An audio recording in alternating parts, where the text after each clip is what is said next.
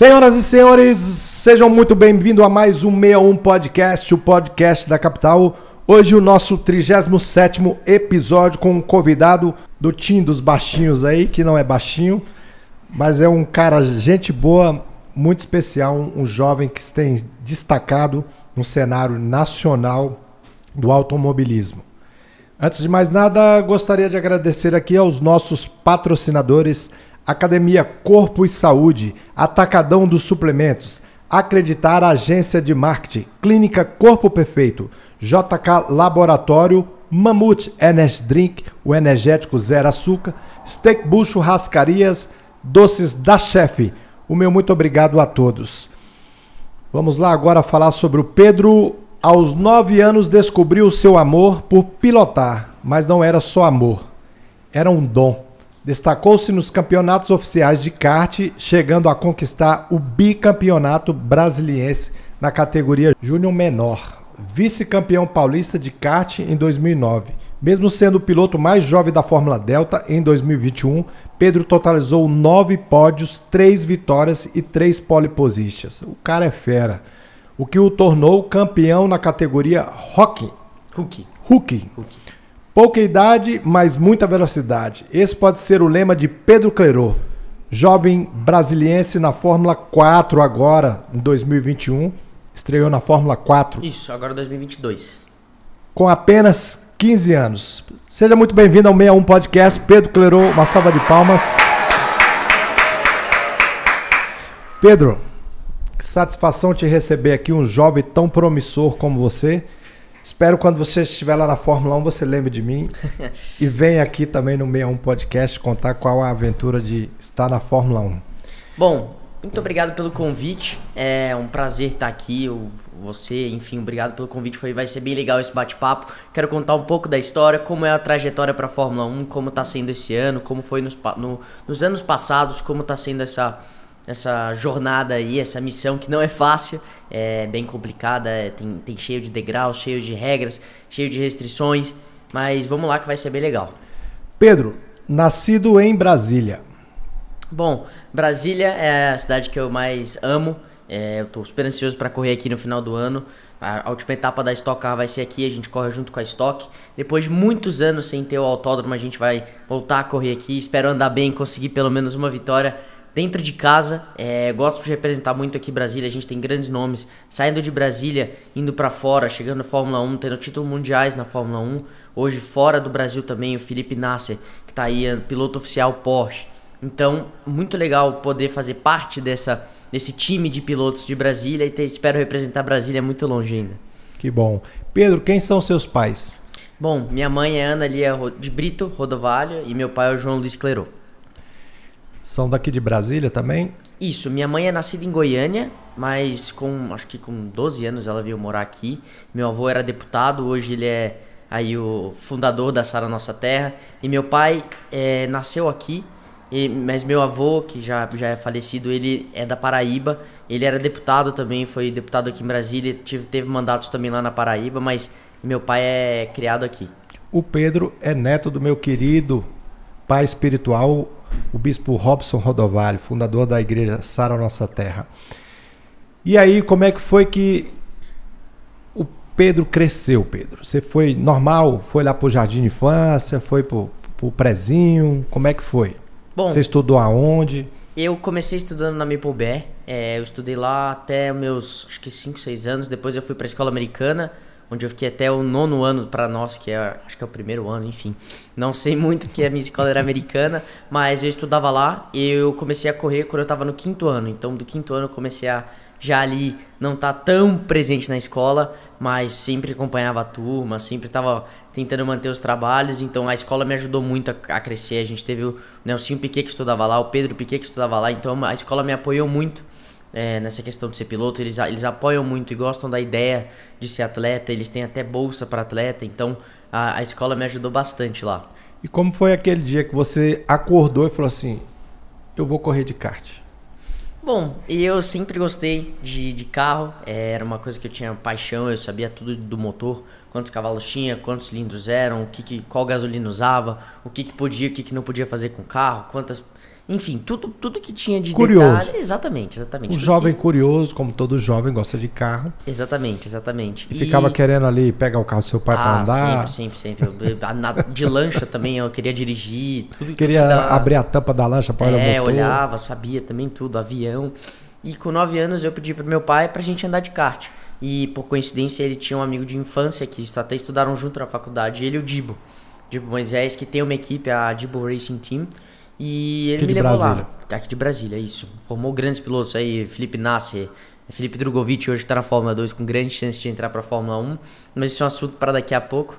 É, então, e ele me ajudou muito. É, foi aquela coisa de domingo, começou com aquela coisa de domingo, a gente, ai, vamos, vamos treinar hoje, que é sábado, domingo. Não era, eu não era profissional ainda, né? Tava pegando jeito. E aos poucos eu fui gostando mais, mais, mais e mais. E acabou que Mas eu aí seu gosto. pai levou você lá nessa equipe desse amigo. Isso. Aí você foi lá dar a primeira volta. Foi paramentado, todo cheio de, cheio de macacão, tudo já Claro, certinho. claro, claro, claro. Já fui tudo preparado. Pequenininho ali, cheio de macacão, macacão Quantos grande. anos? Tinha nove anos. Nove anos. Nove anos. Isso foi em 2016, começo de 2016. Tudo pequenininho, apertado no kart, assim, com as pedaleiras toda apertada. Mas aos poucos eu fui pegando gosto e eu comecei a treinar dia de semana, comecei a fazer E corrida. a primeira volta ali que você deu. Ah, cara, a primeira volta eu fiquei meio em choque, assim, não vou, não vou mentir. Era uma coisa assim, tava dirigindo pela primeira vez. Ali tudo bem, eu tava devagar, mas pra mim eu já tava voando. Tava, nossa, quero fazer isso aqui mais. Sabe como é que é? Criancinha tava animada. Seus Então, pés alcançavam ali? Na... Tem uma regulagem? Tem uma regulagem, meu pé era tipo esticadão assim, com as perninhas desse tamanho. Então, mas deu, deu pra ficar bem no, no kart. Aí você como é que foi? Deu a primeira volta e você falou, legal. Beleza, aí a segunda volta já fui pegando mais confiança. Terceira, quarta, aí eu rodei na quinta volta, eu fiquei com medo. Aí eu fui pro box, não, rodei, tô com medo. Aí saí de novo, fui pegando confiança, confiança, confiança, até o ponto que eu acostumei. Sua mãe tava lá, mas seu pai? Não, não, não, minha- só meu pai tava lá, minha mãe não foi, acho que ela não tava na primeira vez, mas ela tava na segunda, tem até Senão não ia ter a segunda. Não, né? não, não. Senão ia ter segunda. Ela fala, não, muito perigoso. Minha mãe, é- é, acho que ela, ela sofreu muito esses últimos anos com as coisas que aconteceram. Vou contar um pouco mais pra frente. Então ela tem um pouco de receio, mas já tá acostumada.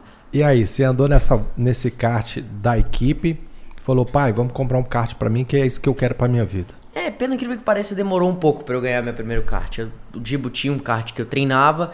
E um belo dia eu cheguei lá. Depois já de- era um kart mexido, Já, né? De já, competição. já. Porque Sim, tem uns kartinhos fuleiro aí que, que a gente aluga lá pra dar É, uma mas já era um volta. kart de competição. Aqueles karts que aluga ali pra dar uma volta, é um motorzinho de quê? 60 HP? Não, não, não chega a isso tudo não. Chega a ser, ó, os de criança chega a ser 4, 5 HP e os de adulto 16, 15.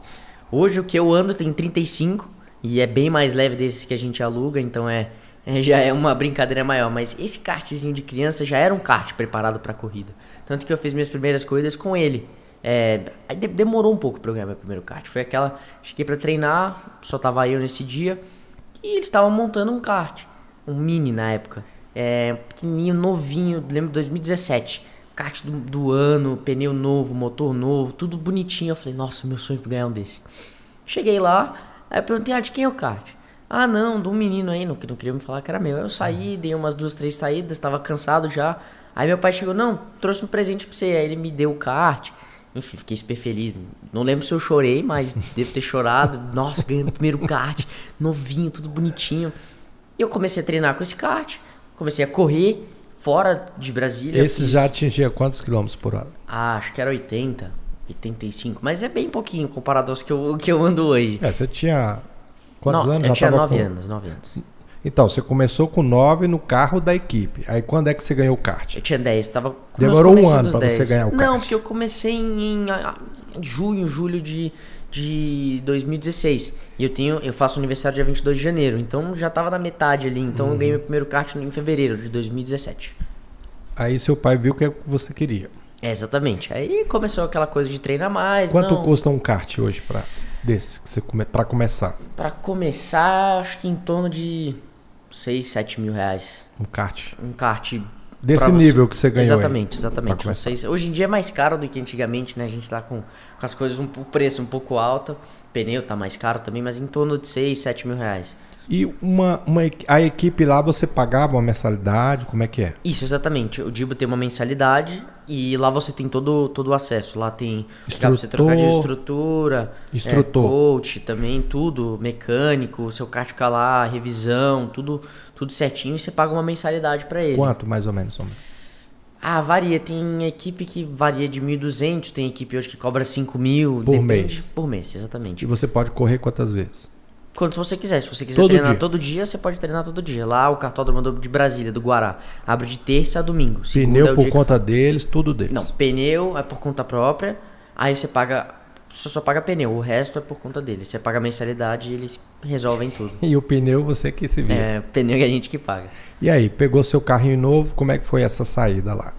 Pô, já estranhei o kart, assim, um kart novo, freio bom, assustei com o freio, dei umas rodadas por causa do freio, né? O freio mais sensível, mas já tava virando mais rápido depois da terceira, quarta volta do que eu virava com o kart antigo, já tinha muito mais confiança. Falava, nossa, esse kart aqui deve ter muito grip, deve ser muito bom, então já, já daí já foi melhor. O que, que é gripe? Hoje, como é que eu posso explicar? O pneu do kart é o, a base do, do, do kart, é o que tem grip que a gente chama, é o como você entra na curva e o pneu agarra no asfalto. E você pode mexer no, no kart para isso, você pode endurecer o kart, é, ou amolecer o kart. Com o kart mais mole, seu kart é mais amarrado, tem, ele gruda mais, porque ele trabalha mais em cima do pneu, então ele é mais grudado no chão. Você pode endurecer o kart, que acaba que tira um pouco do grip do É kart, igual porque ele o tá mais duro. ali. Exatamente, exatamente. O kart mais duro ele não apoia tanto, mas pra pista muito emborrachada, que anda muita gente com muito pneu, m- muito pneu novo que o pessoal passa, é melhor andar com um kart um pouco mais duro, às vezes não. Tem muita coisa que dá pra mexer ali que, que muda bastante. Isso nós estamos falando no cartódromo do Guará. Isso. Como é que tá o cartódromo do Guará? Bom, o Cartódromo do Guará hoje pra mim é a melhor pista que a gente tem no Brasil. É, Mas parece que ele tinha sido demolido, tinha... Então, eu, eu nunca entendi essa história direito de o que, que eles queriam fazer. Parece que ia fechar, iam querer fazer uma PPP, não sei exatamente. Tanto que uma época, durante a pandemia, eles fecharam o O cartódromo. Valtinho Ferrari que cuidava do cartódromo. Não, não, não. O Valtinho Ferrari cuidava do Ferrari Kart. O Ferrari Kart acabou sendo Hum. É demolido. o pai de um amigo meu que cuidava lá do, do, do, do cartódromo. Era o seu, o seu Zé que cuidava. O sobrenome dele, sabe? Lembra? Não vou lembrar. Que hoje quem cuida é o Dibo, é as cartas que cuida de lá. Tanto que na pandemia a gente não tinha onde treinar. A gente ficou três meses sem treinar porque o cartódromo do Guará tava fechado. Reformando. Não, não, não, não reformando. Tava fechado mesmo. Eu não, eu não, não faço a mínima ideia por que, que tava Ah, acho que é fechado. aquela história que falaram que ia fechar e acabou não É, fechando. exatamente. Aí ficou interditado. Mas depois já reabriram e enfim, aí já foi, já continuou os treinos, a gente voltou a treinar normal. E aí, você ficou quanto tempo com esse kart? Fiquei- Competiu com ele? Competi com ele. Eu fiquei o ano de 2017 inteiro com ele. Eu ganhei ele em fevereiro e continuei a temporada. Porque em 2018 eu já trocaria de kart de novo. Quando você muda de categoria, hoje a gente tem várias categorias no kart. Você começa na Mirim, que é onde eu comecei. Cadete, que é o mesmo kart, mesma É coisa. pela idade ou pela potência? Idade. A idade muda e o kart muda também. Tamanho e potência, pneu, tudo isso muda. Mirim e cadete é o mesmo kart. Mesmo motor, a mesma coisa. Muda a questão de idade. De 8 a de. Deixa eu botar de 6 a 8 e de 9 aos 11 na cadete. E depois da cadete vem a júnior menor, que já é um kart maior. Que é o mesmo kart que você continua pro resto da vida. O que muda é o motor. É o primeiro motor 125 que a gente tem, que 125 125 cilindradas. Isso tem em torno de 25 HP. É o mais lento da, da categoria 125. Mais leve, tem. Acredito que o peso é 135 quilos. Piloto e kart. Então é bem leve. Da Júnior menor você vai pra Júnior. Já, já muda o motor, o mesmo pneu, mesmo kart. Só o motor que muda. Aí o peso vai para 150. Piloto e kart. Já é uma categoria onde os pilotos já são mais experientes, já é uma, uma briguinha ali maior, o nível é bem alto. Da Júnior você vai para graduados. A graduados é a elite do kart, como se fosse a Fórmula 1. Lá fora a gente chama de OK, que é um motor Quantos diferente. anos você chega na graduados? Você pode entrar com 15 e fica até os 90 se quiser. É mesmo. Né? Aí é. É Mas ruim, tem- hein? Não, Imagina mas- lá o Rubinho no kart correndo. Não, mas o Rubinho, o Rubinho hoje ele andaria na graduado e ele acelera bastante. Eu assisti uma coisa dele de kart ao vivo uma vez lá na Granja, que ele tava correndo de DD2, onde ele foi segundo, não ganhou por detalhe. Quem, Quem ganhou? ganhou foi acho que o Rafael Reis. Jovem? Jovem, jovem, jovem. E, e por acaso é meu amigo também, os irmãos Reis são meus amigos, o Léo e o Rafa andam de HB20 hoje, a categoria de entrada dos turismo no Brasil. O Léo hoje tá liderando o campeonato e o Rafa tá ali em segundo. Então a duplinha acelera bastante ali. E a gente tem depois da graduados a sênior, sênior A, B, super sênior, super sênior master, super sênior master mais 60. 60 a mais, né, que a gente fala. Da super a sênior A vai de 25 até 40 anos. E os preços desses karts aí, já nessa categoria? A Júnior Menor você vai comprar um, um chassi completo hoje importado. Vai gastar 25, 26 mil para montar um kart. E pneu vermelho que custa em torno de 750 reais o jogo de pneu. O jogo, os quatro. Os quatro pneus, isso. E cada jogo é 750 reais. E usa um jogo, quantas corridas? Ah, você usa. Hoje no, no kart funciona assim. Vou dar o exemplo do Light. Tá tendo até. Eu, eu vou lá assistir sábado, amanhã eu tenho uma reunião na equipe e eu vou aproveitar pra lá para rever o pessoal lá do kart em São Paulo. Temos treinos de quarta-feira, treino livre, todo mundo anda junto. Quinta-feira, é, a gente tem os treinos de. que já são cronometrados. Dois treinos de, de meia hora de manhã, tipo, dou um exemplo, de 9h30 às 10 e de 11h30 ao meio-dia. Você pode passar quantos pneus você quiser. Geralmente é um por treino ou um no último treino. E, e é o que você tem pra treinar na quinta-feira.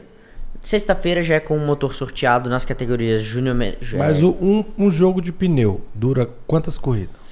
Corridas a gente faz a quali e duas corridas com pneu com um jogo de pneu. Mas o pneu já na última corrida já não tem tanto grip, não é a mesma coisa.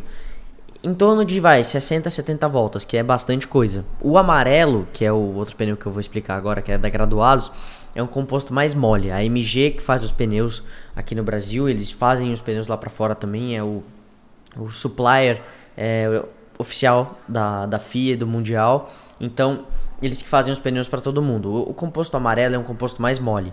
É o composto da Graduados. E da Shifter, que é o kart com marcha, que aí já é um pouco mais caro, já é para o pessoal que anda de fórmula, que o, tipo, por exemplo, o Pedro Piquet anda, o Denis Girani anda, o Danilo Girani anda.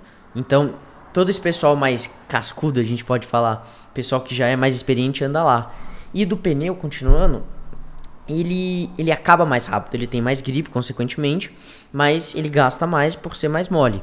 Então, só amarelo vai durar, se faz a mesma coisa, quali, duas corridas com o mesmo pneu, mas ele chega na última corrida já bem pior do que o vermelho. E essa escolha de pneu interfere na, na volta? Na- Não é uma escolha, é questão de regulamento. Ah, sim. A graduados é amarelo, a Júnior era pneu amarelo, mas mudou para pneu vermelho por conta do mundial que ia ter, eles mudaram isso, acabou que não teve mundial no Brasil por conta de Covid, enfim.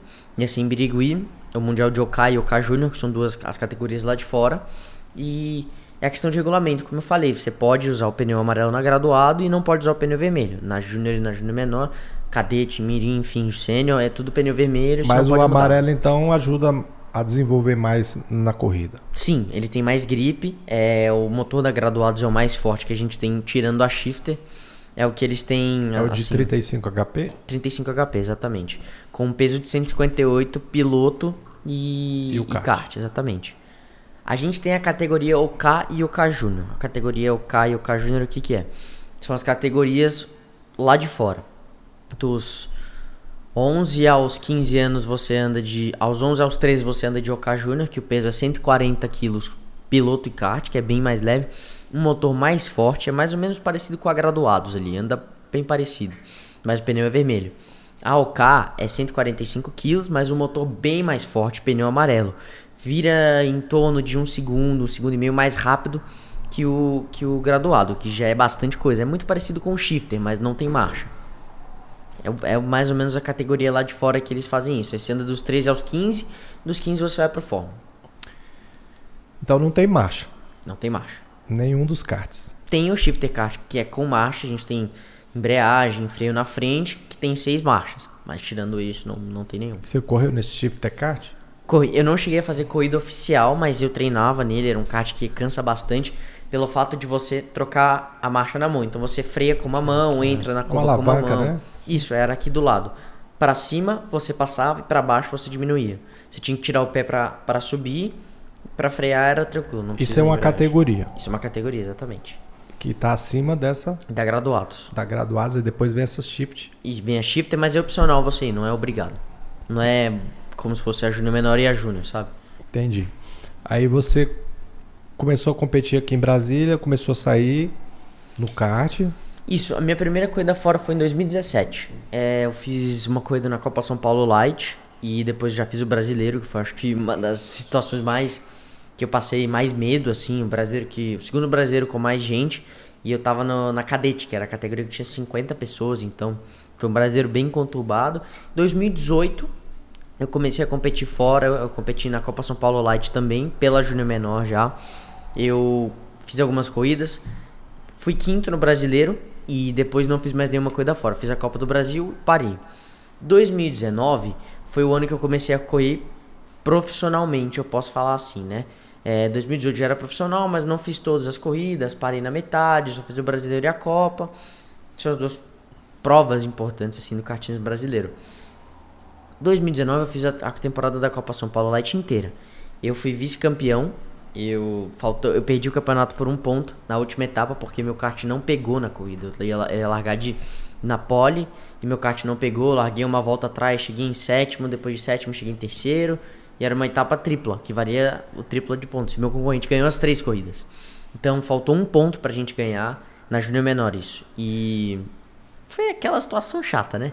Perder o campeonato por um ponto não é muito legal. Você é competitivo? Extremamente. Qualquer coisa que eu faço, eu sou competitivo. Meus pais, eles falam que eu sou chato às vezes também. Eu tô na academia, aí eu tô com minha irmã lá. Aí eu compito pra ver quem pega mais peso, mas eu ganho. Com meu pai, às vezes a gente malha junto. Aí eu quero pegar mais peso que ele, aí eu não consigo terminar o treino.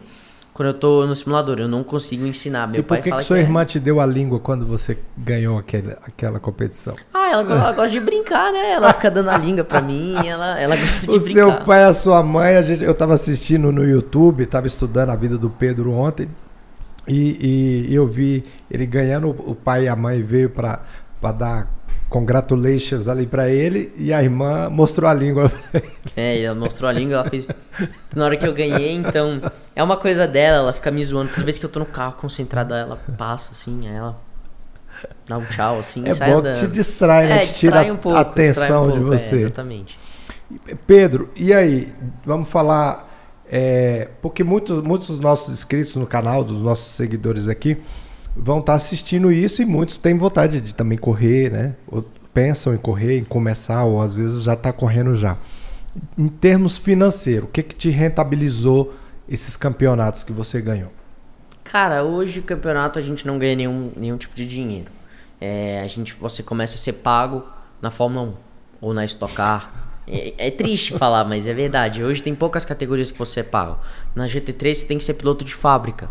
GT3 é uma categoria dos carros de GT. Pô, mas nem o- o- os, as marcas de pneu, Nada. ninguém ali dá um prêmio de mil reais, dois mil, três Hoje, mil. na Fórmula 4, a gente tem o prêmio toda vez que alguém ganha o BRB, que é o patrocinador oficial da equipe, te dá um cheque de 6 mil. Eu já tive etapas que levei 12 mil pra casa, mas é- já é um passo legal, assim, uma coisa que eles É, dão legal. uma etapa é o quê? Uma etapa é dois treinos livres, qualifying, três provas. Você ganha. Porque o treino cheque- conta ponto. Não. Você ganha ponto por ser pole position, ser o mais rápido, você ganha dois pontos por pole. Que é, o, funcio- funciona assim o regulamento da Fórmula 4 hoje. A gente tem dois treinos livres, como eu falei, um qualifying de 15 minutos, que é grupo único, os treinos também são grupo único, 45 minutos. Qualify é um supervisionado Isso. oficializado. Sai de pneu novo todo mundo, obrigado a ser de pneu novo todo mundo. E quem virar mais rápido vai largar em primeiro. E quem for segundo mais rápido larga de segundo e assim vai. A- hoje em dia a pole Virar que você fala é a volta. Exatamente. Quem virar a volta mais rápida é o pole position. Hoje a gente funciona assim. Sua volta mais rápida é levada em consideração para a corrida 3, corrida principal que é a corrida de domingo. Aí o grid de todo mundo é feito pela melhor volta de todo mundo.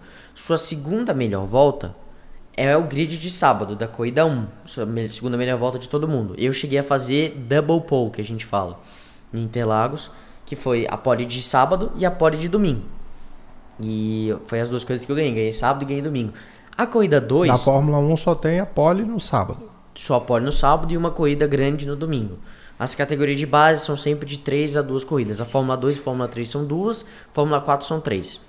O grid da segunda corrida não é determinado pelo quali e sim pelo resultado da corrida 1. A gente, dá um exemplo, fui lá em Interlagos, etapa retrasada, ganhei a primeira corrida. Larguei de oitavo na segunda, o segundo larga de sétimo, o terceiro larga de sexto e assim vai. Então o oitavo é pole, o sétimo é segundo, como eu falei. Já dá a oportunidade de ter outras pessoas andando na frente. É um grid invertido, muita coisa pode acontecer. Já é um pneu mais velho para quem tá assim. Na minha estratégia de pneu, eu sempre vou com um pneu mais velho. Pra... A, a chance de quem sai na pole ganhar é grande, é grande, porque é muito difícil ultrapassar.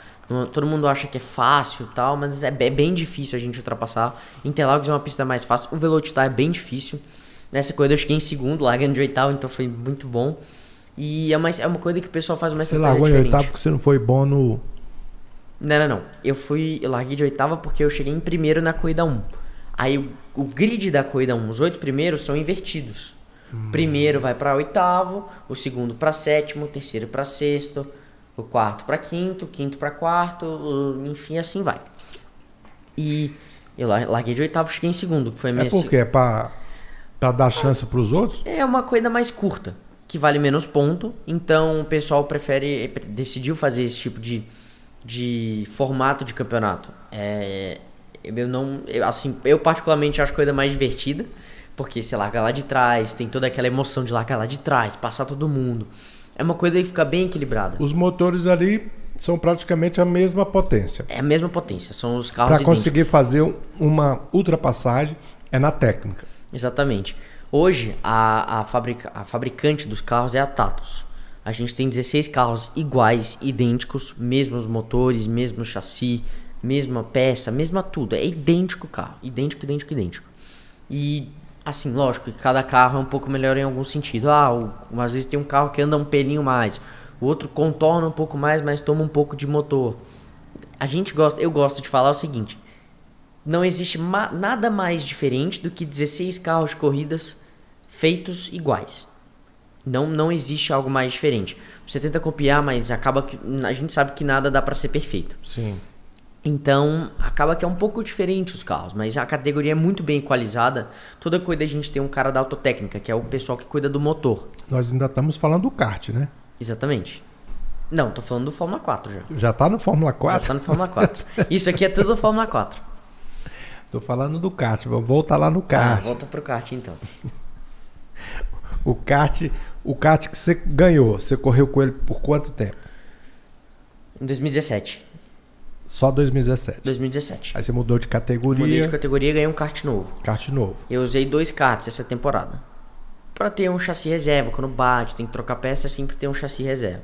2018 eu usei dois. Então, aí no kart, os, os, motores são iguais. São iguais, mas tem a sua preparação. A preparação é individual, cada um faz a sua. Exatamente, tem vários preparadores de motor. Tem a RBC, que é a, a, a mais famosa, assim, a gente pode falar que é a maior, que eles são responsáveis pelo sorteio dos motores mas depende de categoria. Na Júnior Menor, Cadete, Mirim, Júnior, tirando campeonatos nacionais, sendo Copa do Brasil ou Brasileiro, os motores são sorteados. É a mesma preparação para todos os motores, mas lógico, tem um pouco de diferença de motor para não ter alguém que tem um motor muito mais forte ou que alguém que anda fora, a gente pode falar assim. Então, é sempre igual os e tem uns espertinhos que quer andar fora? Sempre tem, né, cara? Tem alguns ali que gostam, mas a gente sabe que é errado. Eu, particularmente, acho isso feio.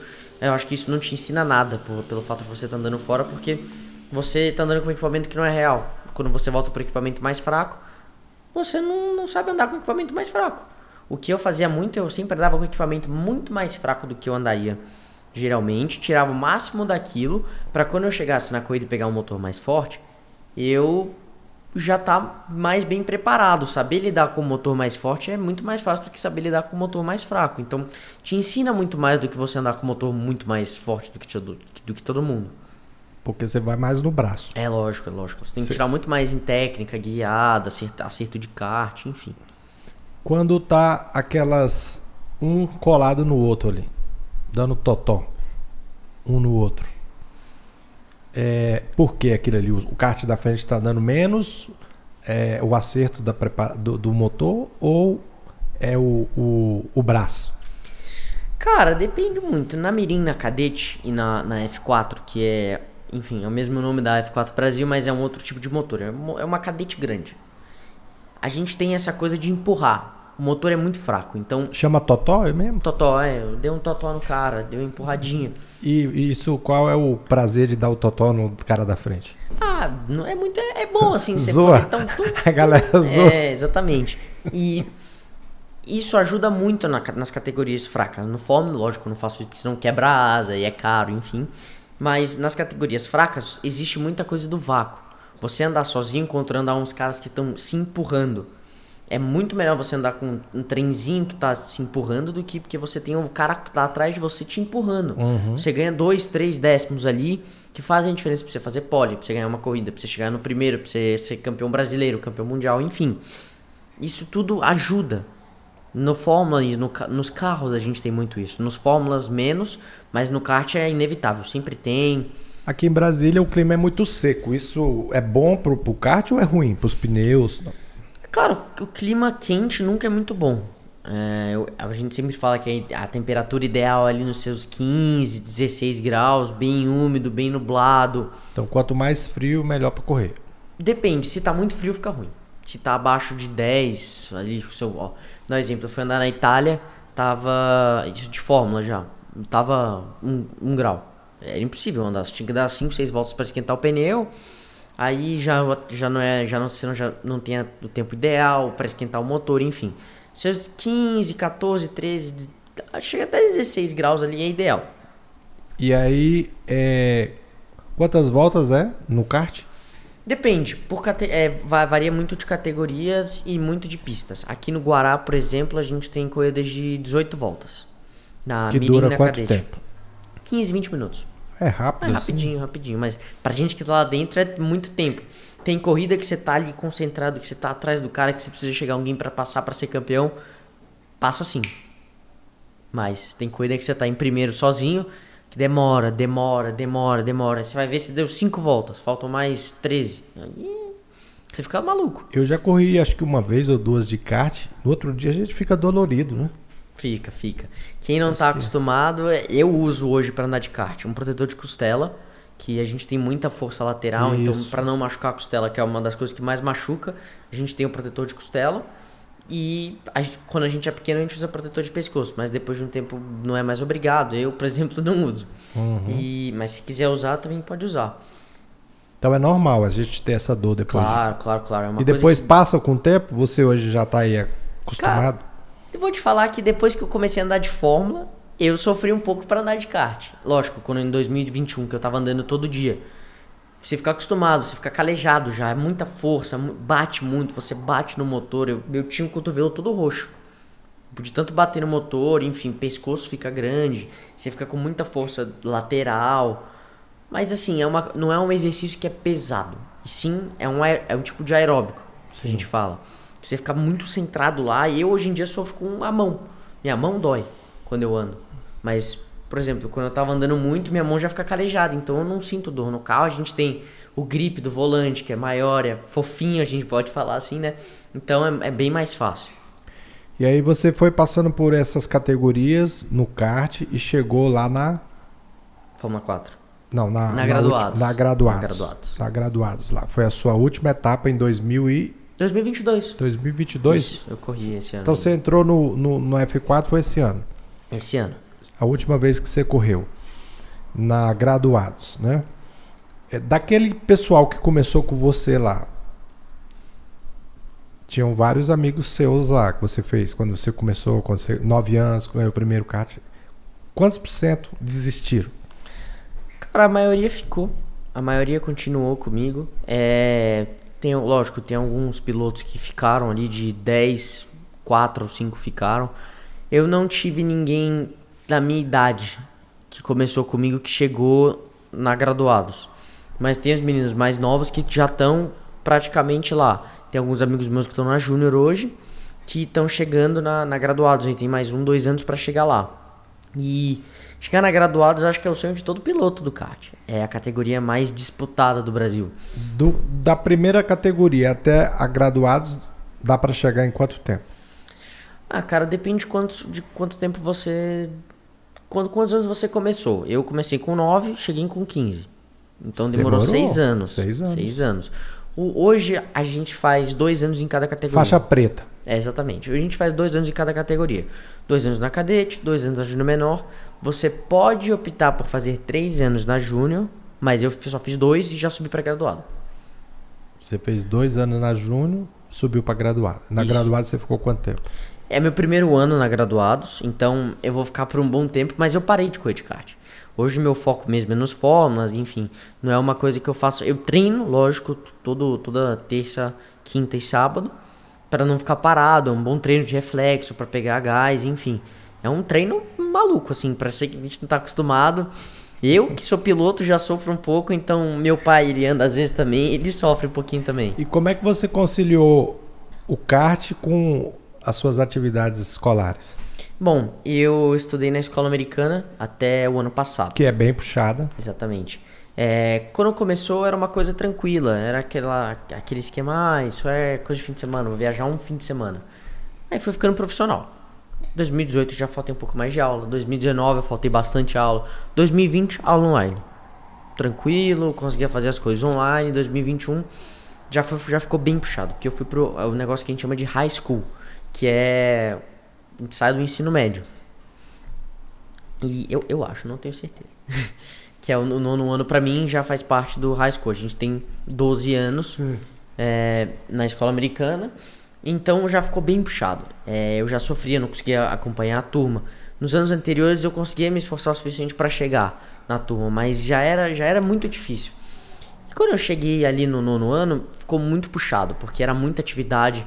Por exemplo, matemática. Eu, eu sempre estava uma semana atrás de todo mundo. Eu não conseguia entregar os deveres de casa. Ficava perdido em prova. Eu meio que atrapalhava a turma, sabe? Então a gente decidiu ir para uma escola só para atleta online. Chama Education Sports Worldwide, que é uma escola que tem o mesmo diploma da escola americana, porém é online. Isso para atletas tem pessoas do tênis, pessoas da ginástica, pessoas pilo pilotos. Então tem uma escola para atletas que é, personaliza ali as aulas para você Exatamente, no seu exatamente. tempo ali, você Exatamente. assiste. Hoje eu tenho uma plataforma com todos os as coisas que eu preciso fazer, de 0 a 100%, são dois quarters que a gente fala, né, metade do ano, a gente tem um pouquinho de férias, mas você pode acabar o ano em quantos, quantos meses você quiser. Se você quiser demorar o, o ano inteiro para acabar, você demora. Como se eu quiser acabar o ano em um mês, dois meses, eu posso. É, eu acabo me formando antes e eu tenho o mesmo diploma. Sei. Mas é uma coisa adaptada para sua rotina. Você faz do jeito que você quer. Eu, por exemplo, vou para academia de manhã cedo, volto, estudo, almoço, estudo mais um, um pouquinho ali, mais uma hora, fico no simulador, volto para academia de novo e simulador até 9, 10, 11 horas da noite. Se você não fosse piloto, qual a profissão que você seria? Ah, cara, eu não sei. Eu acho que eu ia jogar tênis. Não, pô. Tu tava estudando na escola americana. Tu queria ser jogar tênis fora do esporte. Você queria ser médico, advogado, Ah, servidor cara, público. Não sei, não sei. Eu, eu não, eu não. Então você não tem um plano B, Não, hoje meu plano é ser piloto. mas você não tem um plano B. Não, não. E se não der certo? Eu, eu, eu gostaria de estudar business. Eu tenho isso na minha escola hoje online. Eu estudo business. Meu pai é um empresário. Então eu já tenho alguns conselhos do que eu posso fazer. Se eu não for piloto, vou, vou querer mexer com. com Ligado ao moeda. carro. Exatamente, ligado ao carro sempre. Nem que eu vire um coach, eu vou ficar lá. Tem que estar lá na Dono minha. de agência de carro, mas eu vou estar com o carro. Exatamente, exatamente, exatamente. Eu não quero largar o automobilismo por nada. E isso para os seus pais? Ah, meus pais eles me apoiam muito. É, eles sempre falam que eu tenho que ter um plano B, mas eu acho que, eu, que meu sonho é viver do automobilismo de algum jeito, nem sendo piloto profissional. Minha mãe tem, fala assim, eu falo, ah, mãe, se eu for coach eu tô feliz. Coach do, ali do automobilismo, ela fala, não, Pedro, que isso, mas coach não, não é um- uma profissão muito boa. Eu falei, ah, mas eu tô ali no meio, uma coisa que eu gosto, uma É, coisa que eu amo. Por exemplo, o, o amigo do teu pai que é dono de uma equipe, ele deve ganhar bem, né? Ganha Quantos bem. kart ele tem lá? Ah, cara, ele tem uns 20 cartas lá 20 na kart a 1.200. É. Lógico, tem as despesas lá, mas, cara, é uma, é uma vida boa. Você trabalha com o que você ama. Eles sempre falam que eu tenho que trabalhar com o que eu amo. De alguma forma. Minha paixão é o automobilismo, então eu vou arranjar algum jeito. Lógico, meu sonho é chegar à Fórmula 1, viver disso, virar piloto de alguma fábrica. É meu sonho viver disso. Então não, não importa, de, de algum jeito eu tenho que estar envolvido. Mas antes disso, você sonhou em ser alguma outra coisa? Não. Antes, do- antes, antes do automobilismo. Claro, quando você é moleque, você joga futebol. O seu pai é empresário, a sua mãe é Ela, é- ela é empresária, psicóloga. mas Ela é psicóloga, também. Isso. Psicóloga. Você pensou em fazer psicologia? Sua avó é psicóloga. Nunca pensei em fazer Seu avô é físico. Cara, meu, eu já tentei estudar um pouco de física com meu avô, mas é extremamente complicado. Eu até falei, não, não dá. Ele tem as equações malucas dele, assim, né? Cara, você pega um quadro negro lá e ele, cara, você olha assim e fala, o que, que é isso?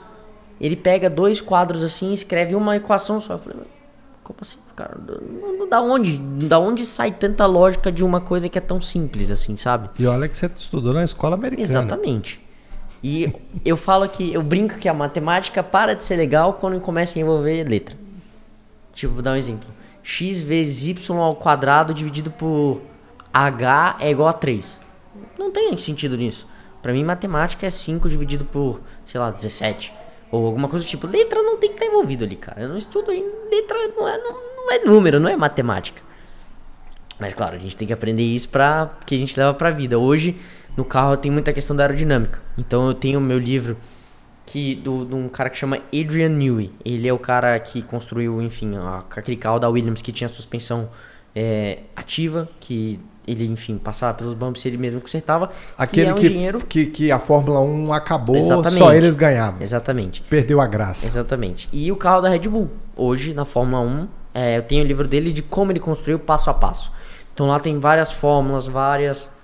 Enfim, vários tipos de modelo que a gente pode usar para construir o nosso carro. Lá você aprende como mexer com aerodinâmica, como era trabalhar com os pilotos que ele trabalhou, como era, enfim, tudo que ele viveu no automobilismo tem dentro de um livro. Então é muito legal. Eu tô, vou começar a ler o livro agora. Eu comprei, chegou ontem em casa, então eu quero começar a ler para já entender como é que mais ou Eu menos tenho era. uma fonte que me contou uma história, não sei se é verídica, é uma fonte, que a BMW 740 foi lançada e o Nelson ganhou uma de presente. E ele foi andar no carro e achou uma porcaria o carro. E aí ele ajustou o carro né, e chamou os engenheiros lá da, da porque ele é patrocinado pela BMW até hoje. E aí chamou os engenheiros da BMW e mandou dar uma volta no carro. E os caras falou: O que, que você fez com esse carro? Aí ele falou assim: Eu ensino, né? Mas vamos negociar aí. E aí mexeu na BMW e deu, e deu um outro up lá no, na 740. Eu creio que seja 740. Nós vamos falar sobre esses ídolos do automobilismo brasiliense e brasileiro. E aí você chegou na categoria. Fórmula 4. Não, a última lá do kart, Graduados. graduados. Ah, tá. E aí você chegou lá na graduados, ficou um ano, Não, chegou a ser um ano. Foram quatro meses. quatro meses. Como é que foi essa história de F4? Como é que apareceu na sua vida? Quem foi que trouxe essa novidade para você? Bom, a gente, a gente tem uma associação de pilotos, pais de pilotos e pilotos, PBF, brasileira. brasileira, que tinha a ideia de correr de Fórmula 4 em algum lugar do mundo. Primeiramente, a gente Ah, correu- sim. Seu pai estava me contando ali nos bastidores sobre a Fórmula Delta. Uhum. Que tinha a Fórmula Delta, que é do. do a gente chama que é a Fórmula 5 Brasil. O seu Minelli que faz, ele é um- uma pessoa no meio do automobilismo super conhecida. Ele, ele foi piloto? Também. Tanto que a carteirinha de piloto dele é número 86. Foi a 86ª carteira de piloto a ser feita no Brasil. A minha Pela é a... federação. Exatamente. A minha deve ser a 30, é 31 mil e alguma coisa. Então ele tá desde o começo. E ele fez o carro. É um carro fabricado no Brasil. É, que eu corri em 2021. Eu fiz ali um pouco de uma preparação visando 2022. Eu não fazia ideia do que, que eu ia fazer, mas eu já queria ter algum tipo de experiência. Pra não chegar tão bobo. É porque a Fórmula Delta, pessoal, já sai do kart e entra num carro. Já mudou de categoria. A brincadeira acabou. Exatamente, é um carro que dá mais de 200 km por hora, cheguei já a 230 com o carro da Fórmula Delta. Então, Ele tem aquele formato de Fórmula 1 ali também? Menos um pouco que o F4, ele é um pouco maior, mas já é um carro. Quantos quilos? Pesa 740 quilos, alguma coisa assim, é bem leve. Você falou que é o motor. Do Mitsubishi Lancer. É 180 cavalos, um pouco mais limitado, deve ter 150, 140, mas já é muita coisa. Um carro que pesa 700 quilos, com piloto. Então, é bizarro. Assim, você tá andando com um carro de corrida já. É uma coisa que, assim, não é brincadeira mais. É uma coisa que você tá mais que 200 km por hora. Você É. bate, E machuca. como é que foi que você chegou lá na Fórmula Delta? É, a gente queria fazer um treino de Fórmula em 2021.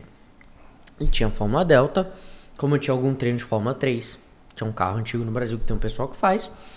E o mais parecido com um carro que eu ia andar esse ano, a gente não sabia do que, que eu ia andar, mas já queria ter uma preparação para Fórmula 4. Já tinha o- um burburinho ali que ia É, ro- rolar a Fórmula 4. É, ia não sa- a voltar gente pro Brasil. Não sabemos aonde ia ter. Se a gente ia correr na Argentina ou no Brasil. Isso é uma história um pouquinho mais pra frente. E eu fui fazer um treino na eta- primeira etapa de Interlagos. Fui, fiz meu banco, que é um banco sobre medida. Cheguei todo preparado. Não tinha macacão antifogo, que o macacão na Fórmula hoje é antifogo. E peguei um macacão emprestado do meu coach que ele tinha mais antigo, que tava na validade ainda, então eu andei com o macacão amarelo, é, que foi onde eu fiz meu primeiro treino. Interlagos é muito famoso pelo aquele chove, não chove, seca, não seca. Tava uma pista meio seca, meio molhada. Não era pneu de chuva, nem pneu slick. A gente saiu de pneu slick, não deu pra sentir o carro. Eu andei muito mais dentro que todo mundo. O slick é o de chuva. Não, o slick é o pneu pra seco, é um Pra pneu. Hoje o carro de rua é muito mais parecido com o pneu de chuva. Ah, é? é exatamente. Que é. a- O pneu slick ele não tem aqueles furos. É um pneu slick mesmo, assim, que a Liso. gente fala. Liso, exatamente. É como se fosse essa mesa. E pneu de chuva tem todo uns cravos que eles jogam a água. A água ali 130 litros pilotos. Os carros de Fórmula 1 jogam 130 Friso, litros, ali. exatamente. E a gente saiu de pneu slick, a pista tava molhada, enfim, eu não, não, não pude acelerar. Fiquei com medo tal, aquela coisa de primeira vez. Ah, pai, primeiro treino foi legal, vamos fazer o segundo? Vamos. Segundo treino tal, andei ok, fui quinto. Ali tava um pouco fora do pace ainda, mas pela primeira vez tava bom. Ah, pai, quero andar mais. Não, não, não, melhor não. A gente teve até um, um- o Gastão falando pra gente assim, é, preza, tenta pensar muito em prezar a sua imagem e pra você não se queimar, para que tinha um, um risco grande, um grande risco de eu andar mal. Então tava, meu pai tava meio receoso de eu andar, a gente não sabia se eu ia andar ou não a corrida. Falei, não, pai, deixa eu fazer a corrida. Eu acho que eu vou andar bem. Eu tô pegando a mão do carro, acho que eu vou andar bem. Fui sétimo no quali. Foi um resultado que eu queria, mas pra primeira vez. Chegou na corrida, eu fui P3. Primeira corrida da minha vida de, de, de carro. Muito bom. Foi assim, um sonho ver a realidade. É, puxa, em P3 na sua primeira corrida. Eu tava até falando com o Dudu Barrichello no dia, ele falou, não, muito bom, queria ter sido, queria que minha primeira vez tivesse sido assim, é, tá, tá andando muito. Enfim, foi aquela, aquela coisa, aquela magia, assim, sabe? Que eu, se encaixo, eu me encaixei no carro. Eu me encaixei muito mais num carro de Fórmula do que num, num kart da primeira vez. A gente pulou um lado negro seu aí do, do kart. É, Aquele que você passou lá foi em 2020. 20, 2020. O Pedro sofreu um acidente de kart em 2020 e quebrou as duas pernas. Exatamente. Quebrei uma perna e um pé. Fala aí pra gente desse dia. Como é que foi, Pedro? Bom, eu tava mais um dia treinando e a gente tem um treino que a gente Aqui? fala aqui em Brasília. Qual categoria? Na Júnior. Meu primeiro ano na Júnior. Quantos 2000 anos? Eu tinha 14 anos. Não, 13 anos. 13 anos. E a gente tem um treino que a gente chama que é a tretinha, que anda todo mundo junto e a gente fica numa briguinha ali treinando ultrapassagem, que é muito perigoso. Eu até depois desse dia eu parei de fazer isso. E Então estava fazendo travessuras. Exatamente. E eu treinei o treino inteiro. Faltava dois minutos pra acabar o treino. E o Dibo, meu chefe de equipe, falou: Não, não vai, Pedro, não vai, não vai, não vai. Raimundo também, meu preparador, também falou: Não vai, não vai, não vai. O Gil, meu mecânico, Não, não vai, não vai, não vai, não vai. E eu, cabeça dura, né? 13, 13 anos, moleque, querendo fazer besteira. Não, eu vou. Competitivo. É, lógico. Largando lá de trás porque era o mais rápido. Faltando dois minutos para acabar o treino, fiz a curva 1, a curva 2 tinha um carro rodado. Passei por cima desse kart rodado, capotei, meu pé ficou preso. Meu kart rodou em cima da minha, da minha perna e do meu pé. Eu acabei fraturando a tíbia e a fíbula da perna esquerda. Hoje eu tenho uma placa e quatro parafusos e tive duas hastes que eu tirei. E quebrei o talos do pé direito. E, enfim, foi uma situação horrorosa. Isso 60 dias antes do Campeonato Brasileiro de Kart. O que, na minha cabeça, eu não ia correr. Já já estava decidido, não, não vamos. Você não ia correr nesse campeonato, você não queria mais saber de kart. Não, eu não ia correr nesse campeonato pelo fato de eu ter machucado. Sim, Eu mas tava- você não pensou em parar de correr de Não, kart? em momento nenhum. Eu queria voltar logo. E foi um momento muito ruim pra mim, assim. Eu acho que foi um momento muito bom e muito ruim ao mesmo tempo. Lógico, muito ruim. Passei por cirurgia, fiquei sem comer, só chorava. Minha família toda preocupada, eh, deitado na cama, com fisioterapia todo dia. Assim, trabalhando pra voltar o mais rápido possível. E foi um momento muito bom porque eu amadureci muito depois dessa, desse dia. É, foi assim, é uma questão de, de, de Deus de não ter sido alguma coisa mais grave. É, eu, eu- como eu falei, eu capotei, então fui jogado pra fora do kart. Não foi é uma experiência muito legal.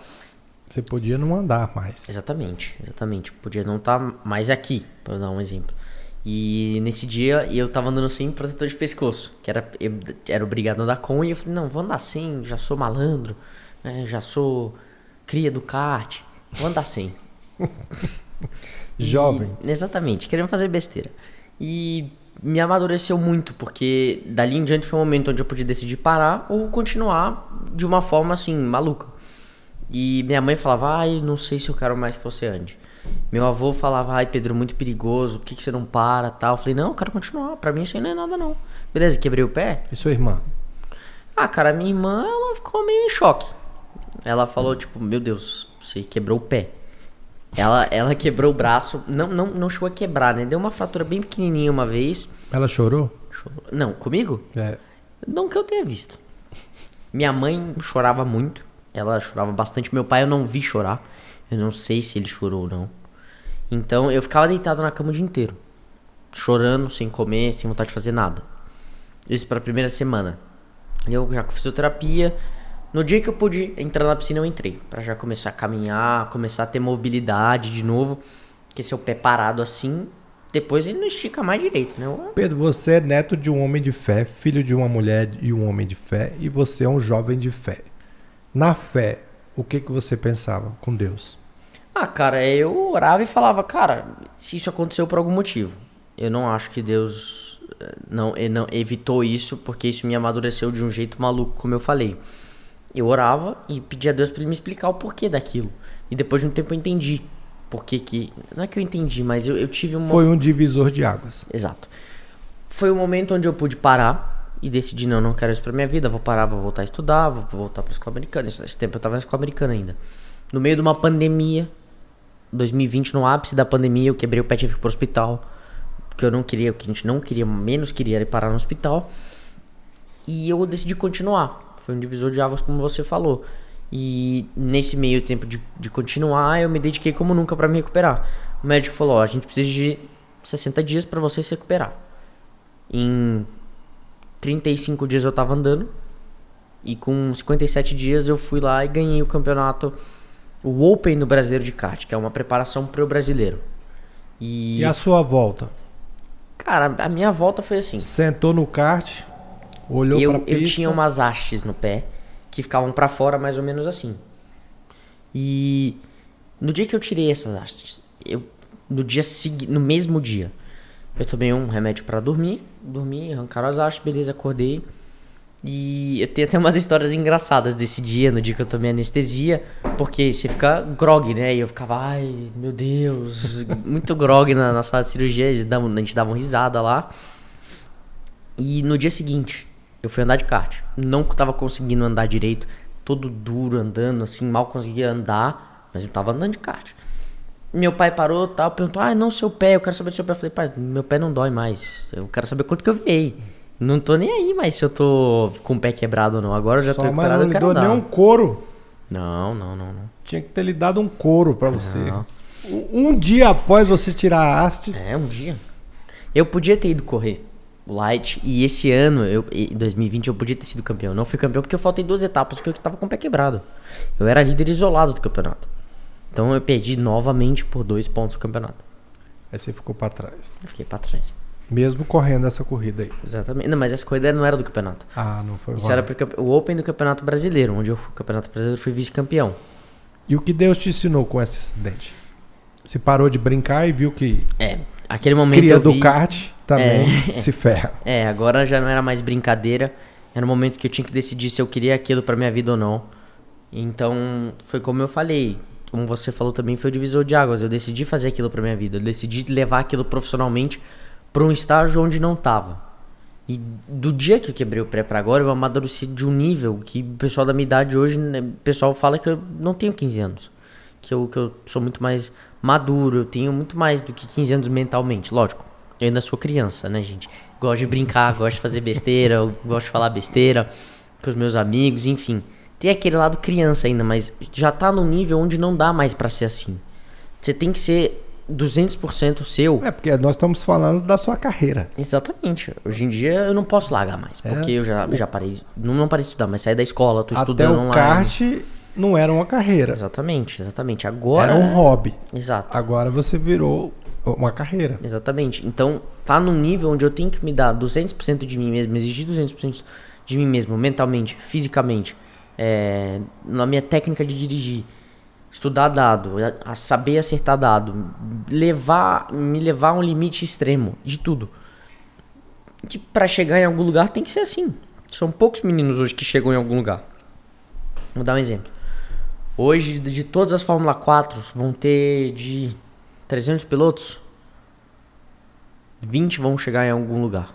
É triste falar, mas é assim. E desses 20, pode ser que nenhum chegue à Fórmula 1. Pode ser que um chegue, pode ser que dois chegue, mas pode ser como que ninguém chegue. Hoje em dia a gente fala, é só, só Deus pra fazer um brasileiro chegar na Fórmula 1 hoje. Muito difícil isso acontecer. Muito difícil. E aí você chega na Fórmula Delta, sente que lá é o carro que você mais se encaixou, né? Correu pela Fórmula Delta. E como é que foi seus resultados?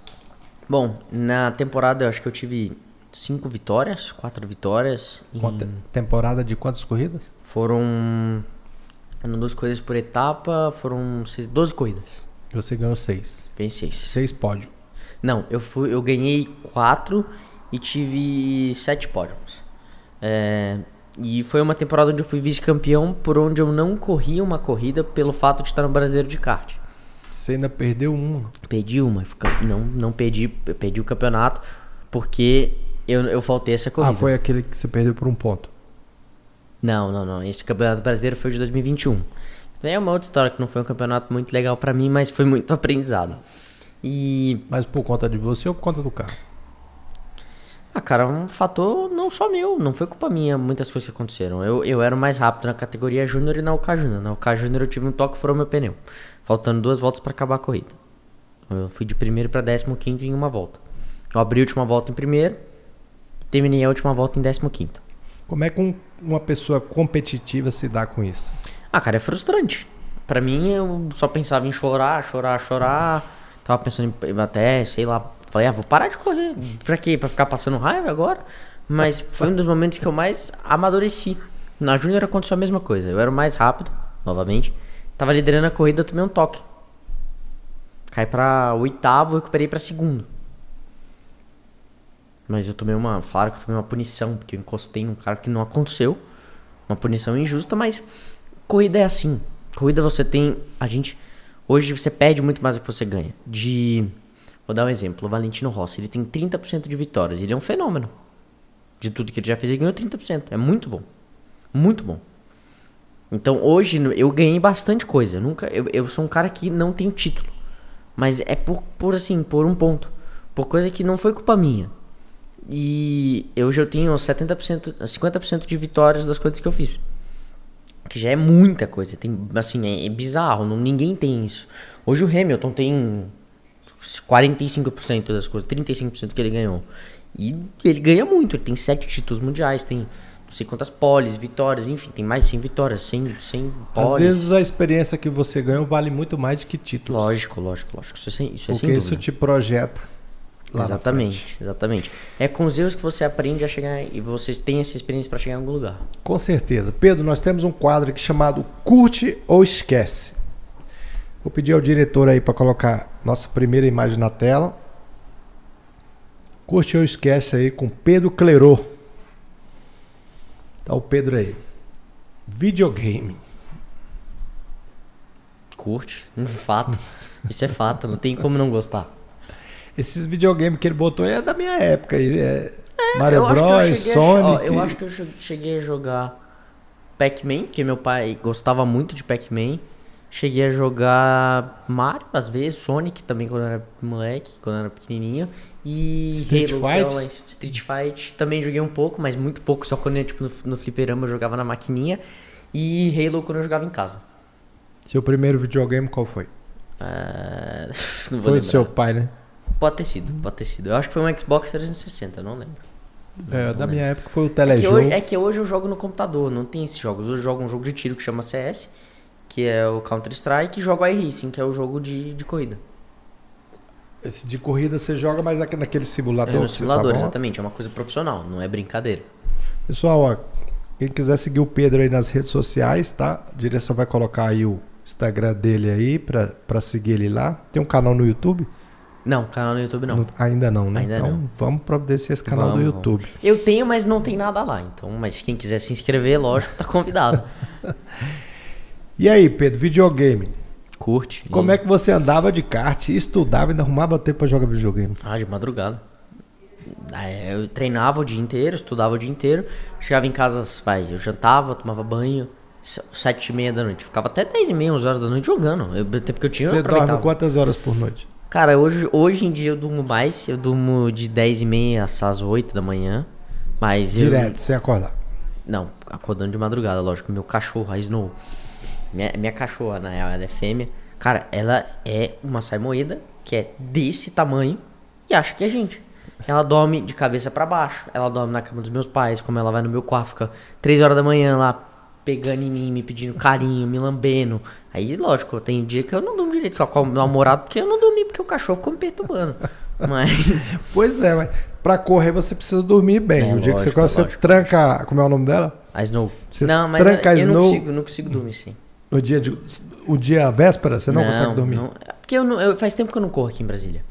Pra mim, fim de semana de corrida é baseado em ficar em hotel. Tanto que Então, mas lá no hotel você dorme?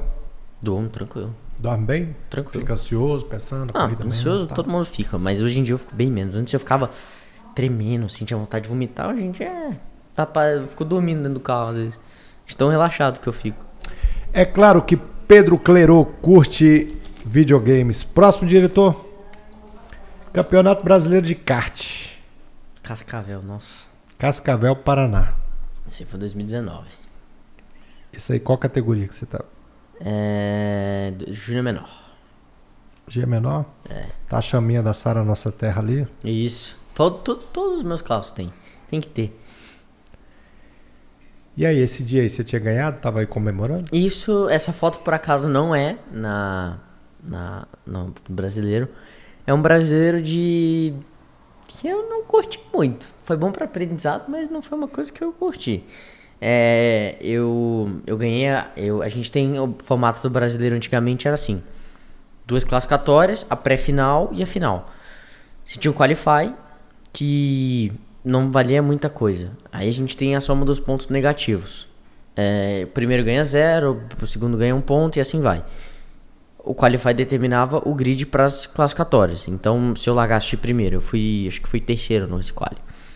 E eu fui quinto na primeira bateria, larguei de terceiro de novo, porque era a, a- o grid do Quali. Fui terceiro, larguei de terceiro na pré-final. Ganhei a corrida. Tava super bem, super animado, super confiante pra final. Chegou na final, me arrancaram. Me bateram na primeira volta. Terminei em décimo nono de 30 que tinha. Todo corredor tem um arco inimigo na pista, né? Tinha o. Da minha época era o. O, o Speed Racer.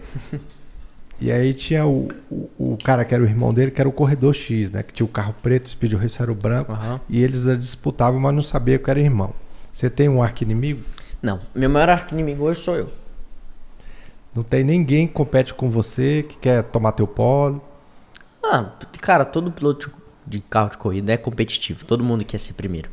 Mas eu não tenho um arco inimigo. Eu não acho que isso é, é correto, assim, sabe? Não, não adianta você estar focado no cara. Ah, esse cara aqui. Não, você tem que estar focado em você.